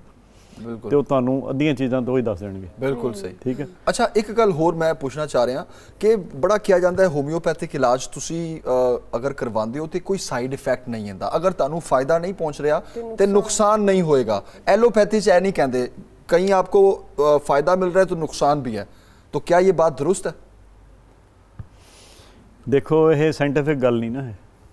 ਅੱਛਾ। ਜਿਹੜਾ ਡਾਇਲੌਗ ਹੈ ਇਹ ਕਹਿਣ ਨੂੰ ਹੈ। ਮਤਲਬ ਸਾਈਡ ਇਫੈਕਟ ਹੈ। ਸਾਈਡ ਇਫੈਕਟ ਨੇ ਉਹਨੂੰ ਅਸੀਂ ਕਹਿੰਦੇ ਪੋਜ਼ਿਟਿਵ ਐਗਰੀਵੇਸ਼ਨ ਅੱਛਾ। ਮੰਨ ਲਓ ਕਿ ਇੱਕ ਦਵਾਈ ਤੁਹਾਨੂੰ ਦਿੱਤੀ। ਠੀਕ ਹੈ? ਤੁਹਾਨੂੰ ਪਹਿਲਾਂ ਸਕਿਨ ਪ੍ਰੋਬਲਮ ਸੀ। ਉਹ ਦੱਬੀ ਸੀ ਤੁਸੀਂ। ਮੱਲ ਮਿਲਾ ਕੇ ਉੱਤੇ। ਠੀਕ। ਕਰੀਮਾਂ ਮਲ ਮਲ ਕੇ ਉਹ ਸਨੈਪ ਕਰਦੀ ਠੀਕ। ਠੀਕ ਹੈ? ਉਹਦੇ ਨਾਲ ਕੀ ਹੋ ਗਿਆ? ਤੁਹਾਨੂੰ ਹੋ ਗਿਆ ਅਸਥਮਾ। ਅੱਛਾ। ਕਿਉਂਕਿ ਕੋਈ ਵੀ ਕਰੀਮ ਵਾਲੇ ਦਿਨ ਤੁਹਾਡੀ ਛਾਤੀ 'ਚ ਜਾਂਦੀ ਹੈ। ਅੱਛਾ ਅੱਛਾ। ਮੈਕਸਿਮਮ ਅਸਥਮਾ ਦੇ ਮਰੀਜ਼ ਜਿਹੜੇ ਆ ਉਹਨਾਂ ਨੂੰ ਕੋਈ ਨਾ ਕੋਈ ਪਹਿਲਾਂ ਪ੍ਰੋਬਲਮ ਹੁੰਦੀ ਹੈ ਉਹਨੂੰ ਤੁਸੀਂ ਦੱਬ ਦਿੰਦੇ ਹੋ ਐਂਟੀਬਾਇਓਟਿਕ ਨਾਲ। ਤੇ ਫਿਰ ਉਹ ਅਸਥਮਾ ਹੋ ਜਾਂਦਾ। ਫਿਰ ਉਹ ਅਸਥਮਾ ਹੁੰਦਾ। ਜਦੋਂ ਅਸਥਮਾ ਦੀ ਦਵਾਈ ਦਿੰਨੇ ਆ ਤੇ ਉਹ ਫਿਰ ਬਾਡੀ ਨੂੰ ਕਲੈਂਜਿੰਗ ਕਰਦੀ ਹੈ ਹੋਮਪੈਥਿਕ ਦਵਾਈ। ਕਲੀਨ ਕਰਦੀ ਹੈ ਉਹ ਬਿਮਾਰੀ ਨੂੰ ਜੜੋਂ ਮੁਕਾਉਂਦੀ ਹੈ। ਉਹਦੇ ਨਾਲ ਫਿਰ ਤੁਹਾਡੀ ਸਕਿਨ ਤੇ ਅਗਰ ਪ੍ਰੋਬਲਮ ਆਉਂਦੀ ਹੈ ਦੁਬਾਰਾ ਹਾਂ। ਤਾਂ ਉਹਦੇ ਲਈ ਘਬਰਾਉਣ ਦੀ ਲੋੜ ਨਹੀਂ ਕੋਈ। ਠੀਕ। ਉਹਨੂੰ ਵੇਟ ਕਰੋ ਵੇਟ ਕਰਕੇ ਫਿਰ ਉਹਦੀ ਦਵਾਈ ਐਕਸਟਰਾ ਅਸੀਂ ਉਹਦੇ ਸਿੰਪਟਮ ਦੇ ਮੁਤਾਬਕ ਜਿਹੇ ਜਿਹੇ ਸਿੰਪਟਮ ਹੋਣ ਬਾਡੀ ਦੇ ਗਰਮੀ ਫੀਲ ਕਰਦਾ ਠੰਡ ਫੀਲ ਕਰਦਾ ਕੀ ਖਾਣ ਨੂੰ ਜੀ ਕਰਦਾ ਗੁੱਸਾ ਕਿੰਨਾ ਚੜਦਾ ਗੁੱਸੇ ਦੀ ਦਵਾਈ ਬਹੁਤ ਵਧੀਆ। ਅੱਛਾ। ਠੀਕ ਹੈ? ਉਹ ਇਸ ਕਰਕੇ ਇਹਨੂੰ ਤੁਸੀਂ ਤਫਸੀਲ ਜਦੋਂ ਅਸੀਂ ਸਟੱਡੀ ਕਰਦੇ ਨਾ ਫਿਰ پتہ ਪਤਾ ਲੱਗਦਾ। ٹھیک ٹھیک ٹھیک ਬਿਲਕੁਲ صحیح اچھا یہی کویشچن میں خورم بھائی آپ سے بھی پوچھنا چاہ رہا ہوں کہ ہربلس جو ہے ہمارے یونانی طریقہ علاج جو لوگ اپناتے ہیں کیا وہ بھی اس چیز کو مد نظر رکھیں ذہن میں رکھیں کہ اگر فائدہ نہیں ہے تو نقصان بھی نہیں ہوگا۔ جی۔ یا ہربل چیزوں کا بھی نقصان ہوتا ہے۔ بالکل۔ بالکل ہوتا ہے۔ بالکل ہوتا ہے۔ اچھا۔ دیکھیے ایک ہمارے یہاں انفارچونیٹلی آپ بدقسمتی سے کہہ لیں کہ چیک اینڈ بیلنس نہیں ہے۔ اچھا جو آپ جو ہم M B B S doctors جو ہوتے ہیں یا جو اسپیشلسٹ آپ کو دیتے ہیں وہ دوائی بھی ایکسٹریکٹ ہوتا ہے۔ وہ آمیزش ہوتی ہے۔ جو جڑی بوٹیاں ہوتی ہیں جس کے اندر ایلو ویرا بھی ہوتا ہے جس کے اندر لونگ بھی ہوتی ہے۔ آپ کو پھر زہمہ جی، دیں گے ہاں۔ جی، ڈاکٹر خورم اور بہت جی۔ شکریہ آپ کا آپ کے وقت کے لیے۔ خورم بھائی بہت شکریہ تھینک یو سو مچ دوبارہ انشاءاللہ آپ سے ملاقات ہوگی اور آپ کو بھی یہی کہیں گے لاہور آئیں ہمارے مہمان بنیں۔ اور ڈاکٹر تاج سنگھ صاحب بہت شکریہ بہت بہت شکریہ۔ آپ ہمارے پاس آئے یہاں پر پاکستان کے تو یعنی مہمان ہیں کلام تو لے لو میرا۔ ہاں کلام بھی لیتے ہیں آپ کا لیکن بریک کر رہے ہیں بھی ہیں ابھی بریک لینے جا رہے ہیں۔ ابھی بریک نہیں لینی۔ ابھی ایک بڑی انٹرسٹنگ سی چیز ہے کہ میری بیگم کی آج سال گرا ہے تو میں نے پوری ٹیم کے ساتھ مل کے یہ سوچا کہ کیوں نہ اس سال گرا کو یہاں سیٹ پہ منایا جائے۔ دعا سے کیک کٹوایا جائے۔ ہیپی برتھ ڈے وش کیا جائے۔ تو آ جائے پھر؟ بھارت سے مہمان بھی آئے میری بھی خوش نصیبی ہے۔ اپنی بیگم کو چھری پکڑا رہا ہوں۔ ہاں، یہ چھری بہت خطرناک ہوتی ہے۔ ارے واہ very nice happy birthday to you